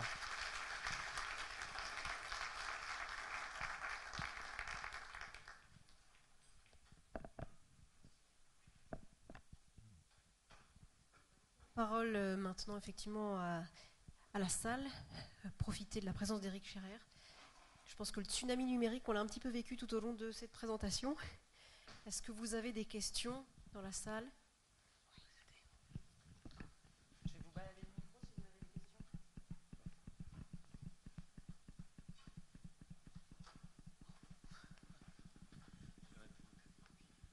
Euh, oui, bonsoir, euh, Olivier Demilly. Euh, Ok, donc je, dirige un, cabinet qui fait du conseil en métropole et, j'interviens aussi en Nouvelle-Calédonie sur des sujets de d'e-learning ou, de dématérialisation. Euh, vous, décrivez un monde, effectivement, un tsunami, une révolution. Je, vais être provocateur, comme ça, ça lancera le débat. Euh, je dirais que c'est aussi un monde de l'addiction, parce que pour voir des jeunes euh, consommer de la vidéo, des, des gens qui se qui se filment en train de, casser la figure d'un enfant ou des choses comme ça, ou de zapper euh, là-dessus. On est quand même dans un monde de l'addiction où l'objectif c'est qu'on consomme en perdant un peu son sens de la critique, euh, d'avoir un peu ce recul vis-à-vis de l'information. C'est aussi derrière des gens, c'est du business. Hein, Toutes les entreprises que vous citez, il n'y en a aucune euh, qui est dans le monde associatif. C'est du business dont l'objectif est de collecter le maximum de la donnée pour pouvoir demain la revendre à des États, hein, puisque en disant bah, on a fait le boulot pour vous, il y a des livres sur Google qui, en parlent aussi. Euh, mais donc, est-ce que cette approche-là, c'est aussi quelque chose qu'il faut avoir, c'est dire bon bah, est-ce que c'est bien, est-ce que c'est pas bien, et quels sont les garde-fous? Vous vous en avez parlé un petit peu là-dedans, mais voilà, je serais un peu plus, euh, je un peu plus le tableau par rapport à ça, euh, par rapport à ce qu'on peut voir dans nos quotidiens autour des jeunes vis-à-vis de ça ou pas. Est-ce que vous avez vous un retour par rapport à ça, à cette pratique? Non, vous, avez raison et vous avez raison sur, ce dont vous parlez. Simplement, les, gens du web, euh, effectivement, collectent nos données, s'en servent, les partagent, les revendent à d'autres entreprises. Ne les revendent pas à des États. Euh, ils peuvent être, euh, ils, peuvent être, les États peuvent leur demander des informations en cas de, dans le cas de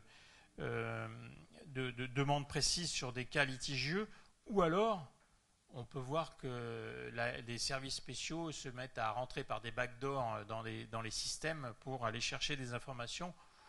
On peut le penser à leur insu, ce qui n'est pas encore vrai, mais enfin, ils ne sont pas en train de le vendre à des États. Ils ne sont pas en train de faire leur argent en vendant des données, enfin, me semble-t-il, à des États. Non, vous avez raison, sur, je crois que c'est ma conclusion, et on a besoin d'une éthique de cette société numérique. Cette éthique, elle n'existe pas encore. Euh, elle est à créer. En même temps, c'est pas pour ça qu'il faut jeter le bébé avec l'eau du bain. Euh, je, suis, je, pense que le, potentiel, les extraordinaires possibilités de, cette démocratisation de l'écriture, de ce fait, de ce transfert de pouvoir vers les gens, vers les individus, est supérieur. Euh, elle porte plein de dangers, mais elle est, supérieure aux, inquiétudes, en tout cas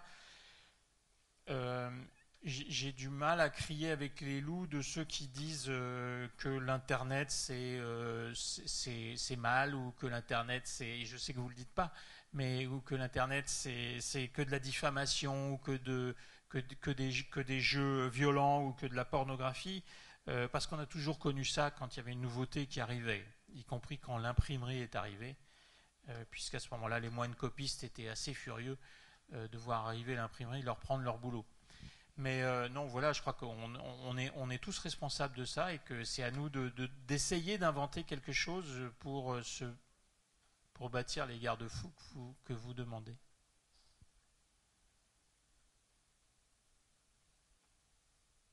Est-ce que vous avez d'autres des remarques ou des, ou des, choses que vous voulez euh, partager ou échanger?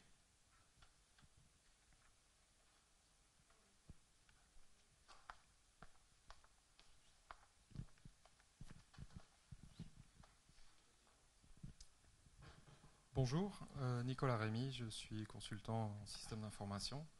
Euh, le panorama que vous nous décrivez ici, euh, et c'est normal, il est très occidental, me paraît-il, européen évidemment, américain par la force des choses. selon vous, est-ce que la perspective est différente lorsqu'on la regarde d'un côté asiatique, notamment? Il y a peut-être d'autres pôles sur la planète, mais je pense notamment à l'Asie, clairement.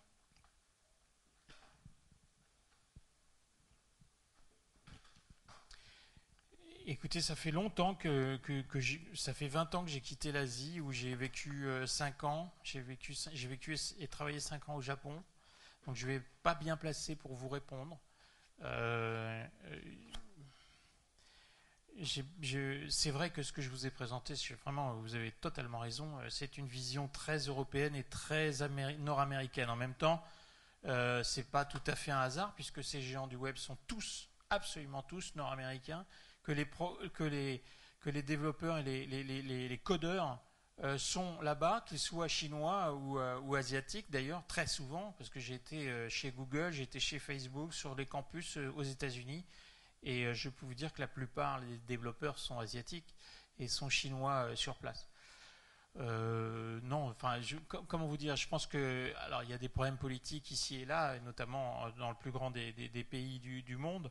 Euh, mais qu'on voit que ce qui fait le succès aujourd'hui euh, de, de, de, ce qu'on voit, euh, je pense aux, messageries, vous avez vu le rachat de, WhatsApp par, par Facebook pour des sommes absolument dingues, mais, ces messageries, elles existent en Chine, elles existent en Corée, avec des acteurs aussi importants que Kakao, que je me souviens plus le nom du, du, service de messagerie chinois, mais euh, ou, au Japon, je crois qu'ils n'ont rien à envier à ce qui se passe euh, aujourd'hui là-bas. Euh, nous, on sait que, par exemple, l'un des développements que pas, dont je n'ai pas parlé ici aujourd'hui pour les médias, parce que ça ne concerne pas l'Internet, mais que ce qu'on appelle chez nous la 4K, c'est-à-dire la, la, ultra haute définition euh, en matière de télévision, qui est en train, qui va s'imposer, qui va arriver, elle arrive de Chine. Elle va arriver parce qu'elle est fabriquée essentiellement là-bas et que pour la première fois, une des technologies majeures des années qui viennent va être en early adopter en Chine et non pas aux États-Unis, et non pas en Europe. Euh, je pense à l'encre électronique aussi, qui est, développée euh, par Taïwan et par le Japon. Euh, l'encre électronique, ce sont ces particules qui sont, sont des tablettes. Vous pensez au Kindle. le Kindle, c'est pas une tablette classique, c'est une tablette avec une technologie un peu spéciale. Donc, l'Asie est, en train d'essayer d'être de, performant en matière d'encre électronique en couleur. N'y arrive pas pour l'instant pour des tas de raisons, mais voilà, il y a tout un tas de choses qui sont en train d'arriver. Je crois pas du Enfin, je crois que ce qu'on est en train d'essayer de, voir apparaître, c'est assez mondial. Alors, euh, c'est mondial et en même temps, ça va être. Il va y avoir des silos, des niches, enfin, des, trucs. Euh, souvent, on parle de, l'internet chinois comme un vaste intranet. Je suis pas sûr que ce soit aussi simple que ça. Euh, Gilles Taladoire, Université de la Nouvelle-Calédonie. Euh, vous avez parlé de, l'évolution des médias, euh, qu'ils étaient, euh, on pouvait les prendre n'importe où, mais il y a quelque chose que vous n'avez pas dit, c'est sur le format, sur la durée, parce que c'est une génération qui ont ces, ces, choses qui sont assez zappeurs et qui, et on voit sur YouTube une vidéo qui dure plus de 5 minutes, regarde difficilement. Donc, quelle évolution pour les médias ce, voilà, cette nouvelle manière de, visionner, peut-être pas euh, un documentaire d'une demi-heure, d'une heure, euh, mais juste cinq minutes et on passe à autre chose. Quoi. On peut faire plus court. Hein. On en parlait tout à l'heure. il, y a une émission de recettes de cuisine au Danemark. Cette émission de recettes se fait en 15 secondes. Chaque émission, chaque émission, c'est 15 secondes. Pas, facile, hein, mais, extraordinaire succès. Non, au-delà de la plaisanterie, évidemment, les formats sont différents, sont en train d'évoluer. Il y a du très très court. Euh, on est effectivement dans une, avec des jeunes qui zappent très vite, mais YouTube, c'est pas que des chats qui font du skateboard. YouTube, c'est aussi des contenus de qualité, euh, de plus en plus, des contenus professionnels. Euh, Netflix, c'est ce qu'on appelle du lean back, c'est-à-dire du, euh, passif, c'est des films, c'est des séries télé, c'est même des consommations. Alors là, on est, dans le contraire du 15 secondes. Euh, Netflix, euh, encore une fois, on en, parlait tout à l'heure, Netflix a, produit des séries, cette série originale de 13 épisodes. Au lieu de, de, mettre un épisode par semaine pour accrocher les gens, elle a tout balancé d'un coup sur Internet.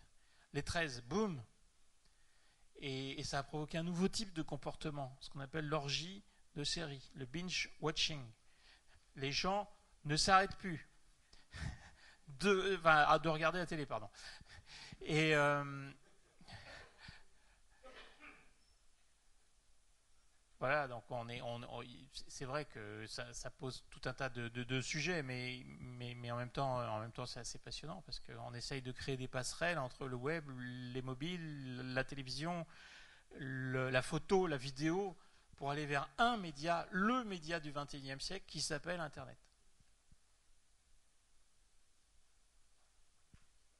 Est-ce que vous avez d'autres questions? Oui, monsieur, pardon.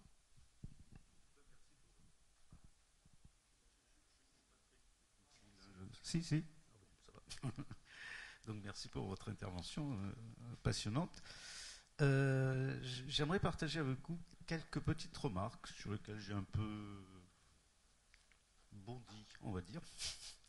Pas spécialement vous, hein, mais quelqu'un a dit que l'université réfléchit. Non, ça fait longtemps qu'elle réfléchit. Je crois que c'est Gonzague qui l'a dit. Ça fait longtemps qu'elle réfléchit. Mais elle n'arrive pas à arriver au bout de sa réflexion. euh, et je voudrais que vous, vous disiez ce que vous pensez de cette réflexion que j'ai entendue il y a très très très longtemps du patron de la société qui s'appelait Digital. C'était à l'époque de VMS et, qui disait Moi je m'occupe pas des ordinateurs portables parce que je vois un marché pour trois ou quatre ordinateurs à travers le monde. Ça, c'est une première réflexion. La prospective est toujours compliquée à faire dans ce genre de domaine. Euh, vous avez dit également que nos jeunes sont connectés. Et ça, c'est une souffrance terrible pour nous. Ils ne sont pas connectés chez nous. Ici, à l'université. Et j'aurais pas la, l'affreuse indélicatesse de vous demander de vous connecter. Euh, l'autre chose qui m'a beaucoup euh, intéressé, euh, on a beaucoup parlé de numérique en disant qu'on est tous plutôt favorables à l'utilisation du numérique. Et à un moment donné, il va falloir s'arrêter puisqu'on est très impliqué dans l'enseignement et se dire mais, mais pourquoi on le fait?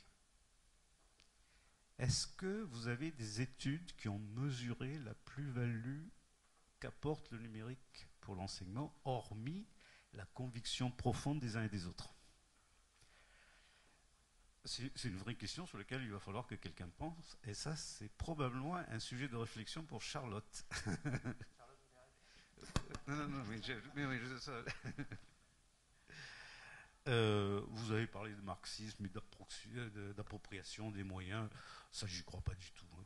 Personne ne s'approprie rien. Euh, on est dépossédé de tout. Vous le savez bien. Vous l'avez vous-même dit par, par un autre biais plus tard. Et, donc, au final, alors qu'on est tous, je pense, dans cette salle, extrêmement convaincus de l'intérêt du numérique, quelle serait la manière de démontrer tout l'intérêt du numérique avec un discours, euh, je dirais, argumenté non pas pour les persuadés du numérique, mais pour ceux qui ne le sont pas? Vous pouvez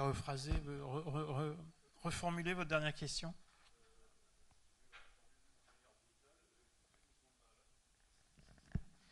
Comment je fais pour convaincre tous ceux qui ne sont pas là?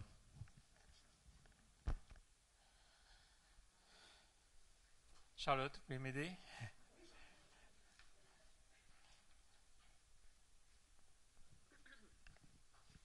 Je vais nuancer un petit peu le propos de Tourévan parce qu'effectivement, euh, en Calédonie, on est en train justement d'essayer de mesurer le niveau de connexion des étudiants. C'est pas si mal.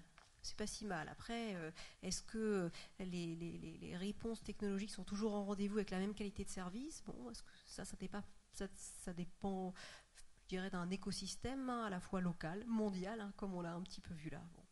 Donc je mesurais un petit peu ça. Pour convaincre euh, tous les gens qui ne sont pas dans cette salle, euh, bah, c'est un travail euh, de pas, je dirais, de, petits pas, hein, avec les institutions avec qui on travaille de façon partenariale, nous à notre petit niveau associatif, on voit aujourd'hui bah, de plus en plus d'acteurs motivés, j'ai dit tout à l'heure, et j'ai envie de dire, euh, les Calédoniens sont plutôt engagés, hein, euh, les institutions, les professionnels euh, et même des associations. Alors, on a par exemple l'Office de développement de la cyberculture de la province Nord qui fait un travail fabuleux en province Nord.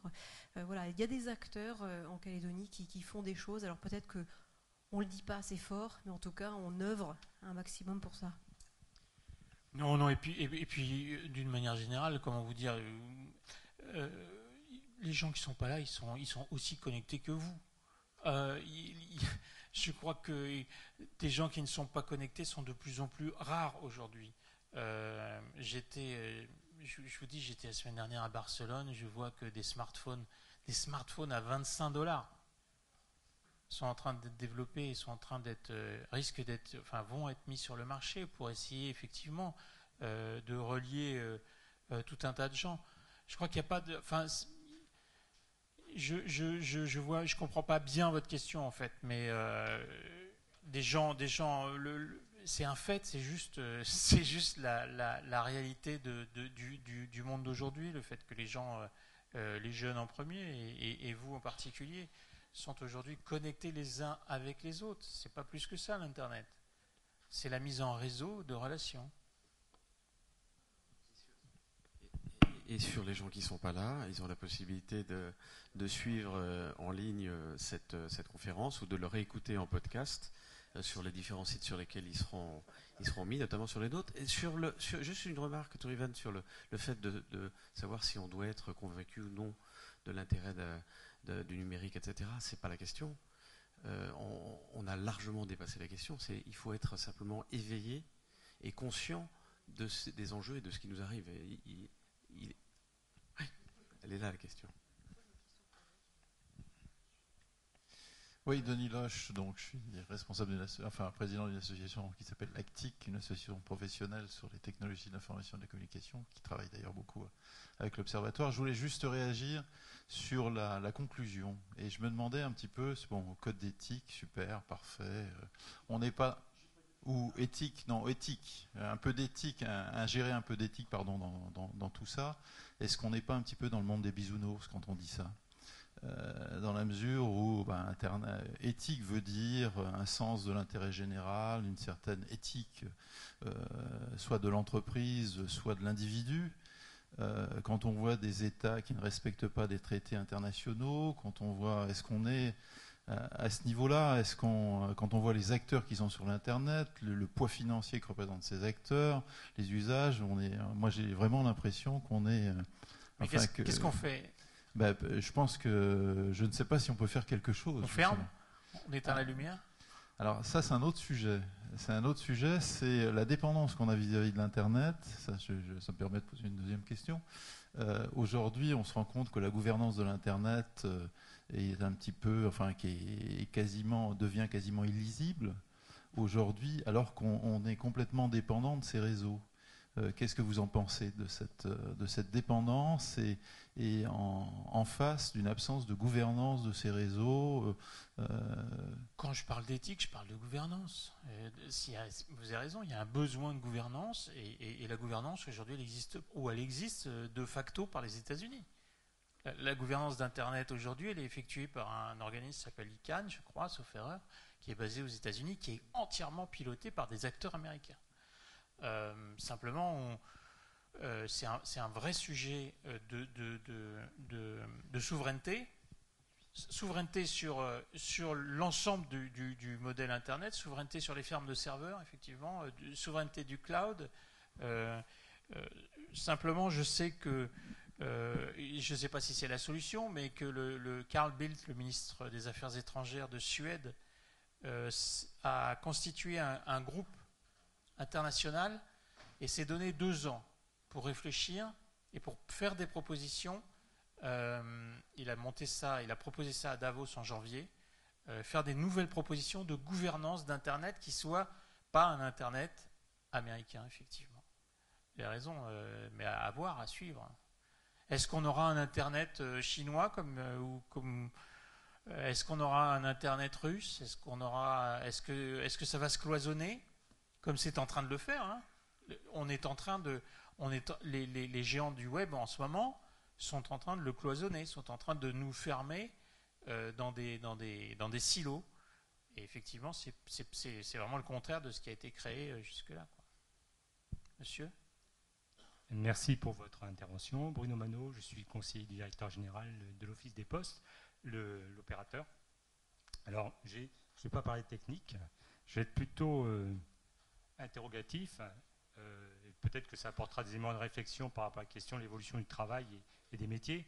Euh, de manière générale, euh, le phénomène qui apparaît, c'est la disparition d'un certain nombre de distances sociales, humaines, culturelles, etc. Des proximités qui en fait déclenchent une, recrudescence de la production d'idées et de modèles et d'innovations euh, liées, tout simplement au phénomène collectif. Donc on est un petit peu comme au XVIe siècle, XVIIe siècle. Nous passons, euh, nous sommes en train de sortir de, la, société euh, contemporaine basée sur la science, sur des lois physiques en dur, et à s'interroger sur les futures lois naturelles de l'Internet, en fait du monde, du monde du, big data, comme on disait. Et euh, concrètement, nous y sommes déjà, puisque les, arguments principaux depuis dix ans sur les relations financières, et notamment euh, à partir de 2008 ont été de gagner quelques millisecondes, 10 millisecondes en transatlantique pour gérer euh, les relations boursières par machine, de machine à machine, euh, entre New York et Londres. Voilà, donc ça c'est quelque chose très concrètement qui signifie qu'une partie des, des, développements, la codification va être orientée en faveur de l'aide à la décision et en fait va substituer des agents mandatés, des machines, pour décider à notre place. L'une des conséquences qui va arriver, c'est qu'une grande partie de nos activités, on parlait des véhicules tout à l'heure, donc l'Europe s'est positionnée pour déclencher une standardisation c'est très récent, ça, du mois de février, c'est une concrétisation d'un lancement pour 2015 pour la voiture connectée, avec des effets positifs, innovation de service, donc moins de risques, plus d'anticipation de, des accidents, des embouteillages, etc., etc., une meilleure qualité de vie. Et surveillance. Et surveillance, bien sûr, mais je suis sur du côté positif. Et donc, je dirais que notre, intelligence devrait être orientée pour répondre à des questions aussi simples que ça, au-delà de l'éducation et de la formation peut-être de codeurs ou de développeurs. Mais que va-t-il va rester du travail ou de la motivation au travail si on n'est que des exploitants, euh, des, champs, on va changer des ensembles et on va finalement se vendre des modules euh, logiciels pour se dire c'est là qu'il faut dépenser et c'est là qu'il faut aller en vacances. Je trouve pas ça très intéressant. Je ne peux rien répondre. Hein.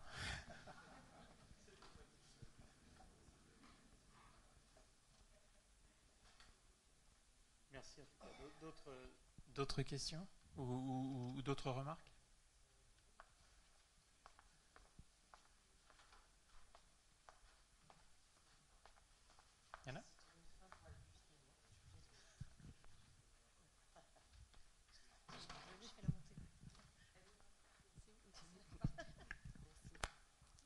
Euh, bonsoir. Euh, Christelle Chauveau, je suis consultante euh, juridique sur le domaine des, TIC.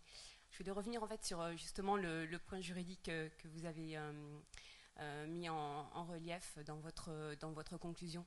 Vous, disiez que vous disiez effectivement en particulier que la question c'était que les données personnelles devaient pouvoir être protégées et euh, d'autre part que euh, les individus euh, devaient être aussi en capacité de demander leur, leur, leur modification.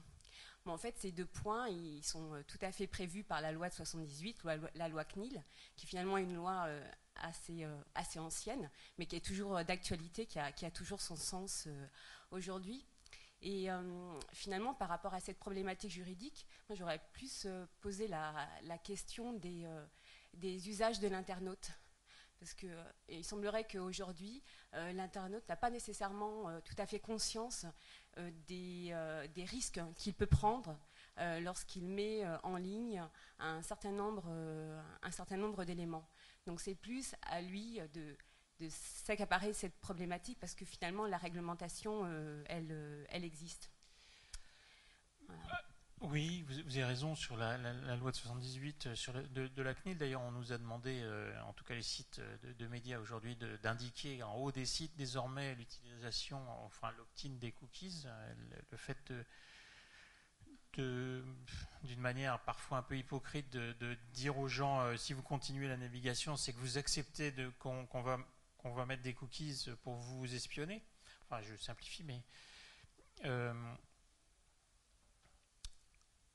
des petites choses sur, votre remarque. D'abord, je ne crois pas que cette loi, elle enfin, il me semble pas qu'elle soit suffisante. Elle est, elle là, elle est intéressante, mais elle n'empêche pas euh, de ne rien savoir de ce que fait Facebook et de nos données. C'est pas cette loi qui, va, qui arrive aujourd'hui à contrôler euh, les données, euh, l'utilisation des données de Facebook ou d'Amazon. Elle, est, elle, est, elle, marche, elle fonctionne pour des acteurs sur le sol français, elle ne fonctionne pas sur les autres acteurs sur les comportements euh, des utilisateurs, là, c'est une question aussi générationnelle. Hein. l'appréciation de la vie privée ou l'appréciation de ce qu'on est, ce qu'on accepte de donner ou pas, est en train de changer. Euh, on s'aperçoit que les jeunes, même adultes, acceptent aujourd'hui de donner beaucoup plus de choses que ce que nous on était prêts à accepter de lâcher sur la transparence et la vie privée. C'est un fait, ça, c'est un fait de société. Euh, donc eux demandent moins de protection finalement.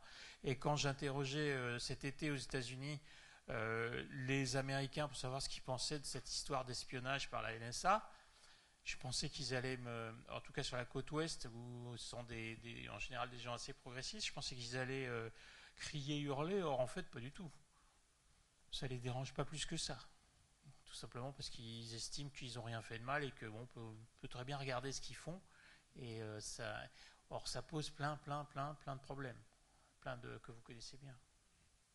C'est vrai qu'ils sont moins en, en vigilance que, les pays européens, La réponse dans ce cas-là, elle est moins réglementaire et juridique que, que, que dans l'éducation, et notamment euh, à l'école. Je sais que ça se, commence à se faire maintenant dans les classes primaires où il y a une sensibilisation à l'usage de l'Internet et au risque qu'il y a à mettre des données personnelles, non pas forcément sur le moment, mais sur, c'est particulièrement vrai avec les adolescents aujourd'hui, qui peuvent avoir la gueule de bois cinq ans plus tard quand euh, ils vont s'apercevoir que leur employeur, nous on le fait pas, hein, mais, que leur employeur euh, eh bien, va découvrir des photos euh, ou des textes ou des prises de position qui correspondent pas forcément au profil qu'ils recherchent. Donc c'est vrai que c'est dès le, dès le primaire, je crois que ça se fait maintenant dans les écoles primaires, il y a des cours de sensibilisation à, à l'usage numérique pour, pour les jeunes internautes. Oui, c'est la question du, du droit à l'oubli par la nouvelle réglementation Alors, je, prends mon droit d'être mm, sur cette estrade aussi pour poser une question à, Eric Schaer, euh, qui est plutôt en fait dans, de l'ordre, on va dire, aussi euh, mondial. C'est vrai qu'aujourd'hui, on assiste à, des forts enjeux énergétiques et environnementaux. Euh, là aujourd'hui, on a dépeint en fait, je dirais, un, panorama un peu de, technophile. Hein, mais demain, est-ce que en, face de la fameuse loi de Moore, on va pas aussi avoir une loi de euh, consommation en fait euh, bah, de notre planète Terre. Hein. C'est-à-dire que la première couche du réseau Internet, c'est le réseau électrique. Et pour avoir de l'énergie, il faut effectivement consommer des énergies fossiles. Donc est-ce que demain, finalement, le plafond de verre de cette euh, fabuleuse, fabuleux tsunami technologique, ça va pas être aussi nos ressources primaires? Avez raison de souligner, je ne suis pas très très compétent pour vous répondre là-dessus, simplement je pense que les technologies vont, peut-être, probablement, trouver des solutions à ce type de choses. C'est ce, ce sur quoi misent en tout cas euh, les technophiles. Cette compression ou ce, euh, le cloud qui est très énergivore en fait aujourd'hui. Euh, mais, mais demain, peut-être des technologies qui le sont beaucoup, beaucoup, beaucoup, beaucoup moins. je sais qu'il y a beaucoup beaucoup de gens qui travaillent là-dessus. Bonsoir, je m'appelle Mathias Balani, je fais de l'événementiel et de la communication. Donc on voit bien que notre consommation média est en pleine mutation. Euh, on a parlé de Netflix, on a parlé de YouTube, mais il y aurait pu avoir Plus ou, euh, MyScreen, je ne sais pas. Ici, on vient de lancer une TV hertzienne. Euh, est-ce que la TV de rattrapage va dépasser notre consommation classique de télé? Quelles sont les prévisions? Et comment vous voyez, vous, l'avenir de la, bah, télé qu'on pourrait appeler classique aujourd'hui par rapport à, une autre consommation? Elle est en train d'évoluer, vous avez raison. Euh, on est en train de, basculer vers, euh, vers une consommation beaucoup plus à la demande. La catch-up dont vous parlez, c'est cette télévision de rattrapage de, de, programmes. Elle est en train de progresser très vite. Je vais vous donner un chiffre qui m'a frappé, que j'ai vu, que j'ai entendu la semaine dernière des laboratoires Ericsson euh, qui ont mené une étude mondiale de prospective sur ce qui, euh, ce qui est en train de, se passer pour la télévision. Ils estiment qu'à la fin de la décennie, la moitié de la consommation se, fera à la demande en matière de télé-vidéo et la moitié en linéaire et en, direct. C'est peut-être faux, en tout cas c'est une évolution assez marquante. Je crois par ailleurs que la, télévision de rattrapage euh, est finalement un mode de consommation assez proche de la consommation euh, du, direct. En revanche, cette consommation de, à la Netflix de vidéos par abonnement, de all you can eat, de buffet à volonté, est quelque chose de complètement différent et de beaucoup plus disruptif pour les modèles de l'audiovisuel que, que l'acte de consommer un film à la pièce ou euh, de rattraper un, programme télévisé qu'on n'a pas vu. Ce modèle euh, de, consommation par abonnement à la Spotify, à la Deezer, à la Netflix, euh, bientôt à modèle Amazon, ou où, sont en train d'être des, choses qui vont bouleverser notre paysage audiovisuel de manière, importante, je pense. C'est une hypothèse, mais je pense que c'est beaucoup plus sérieux, beaucoup plus important que la catch-up classique.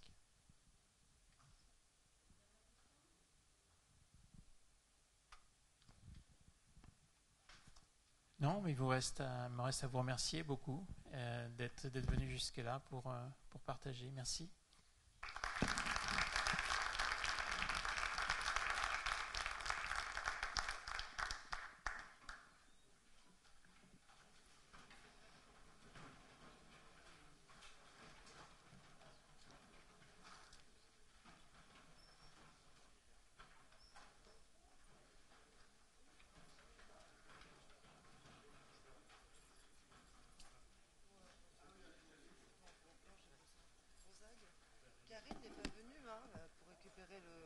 Le podcast. Tu prends D'accord. Bah ouais, ça sera mieux. Ce son sera meilleur.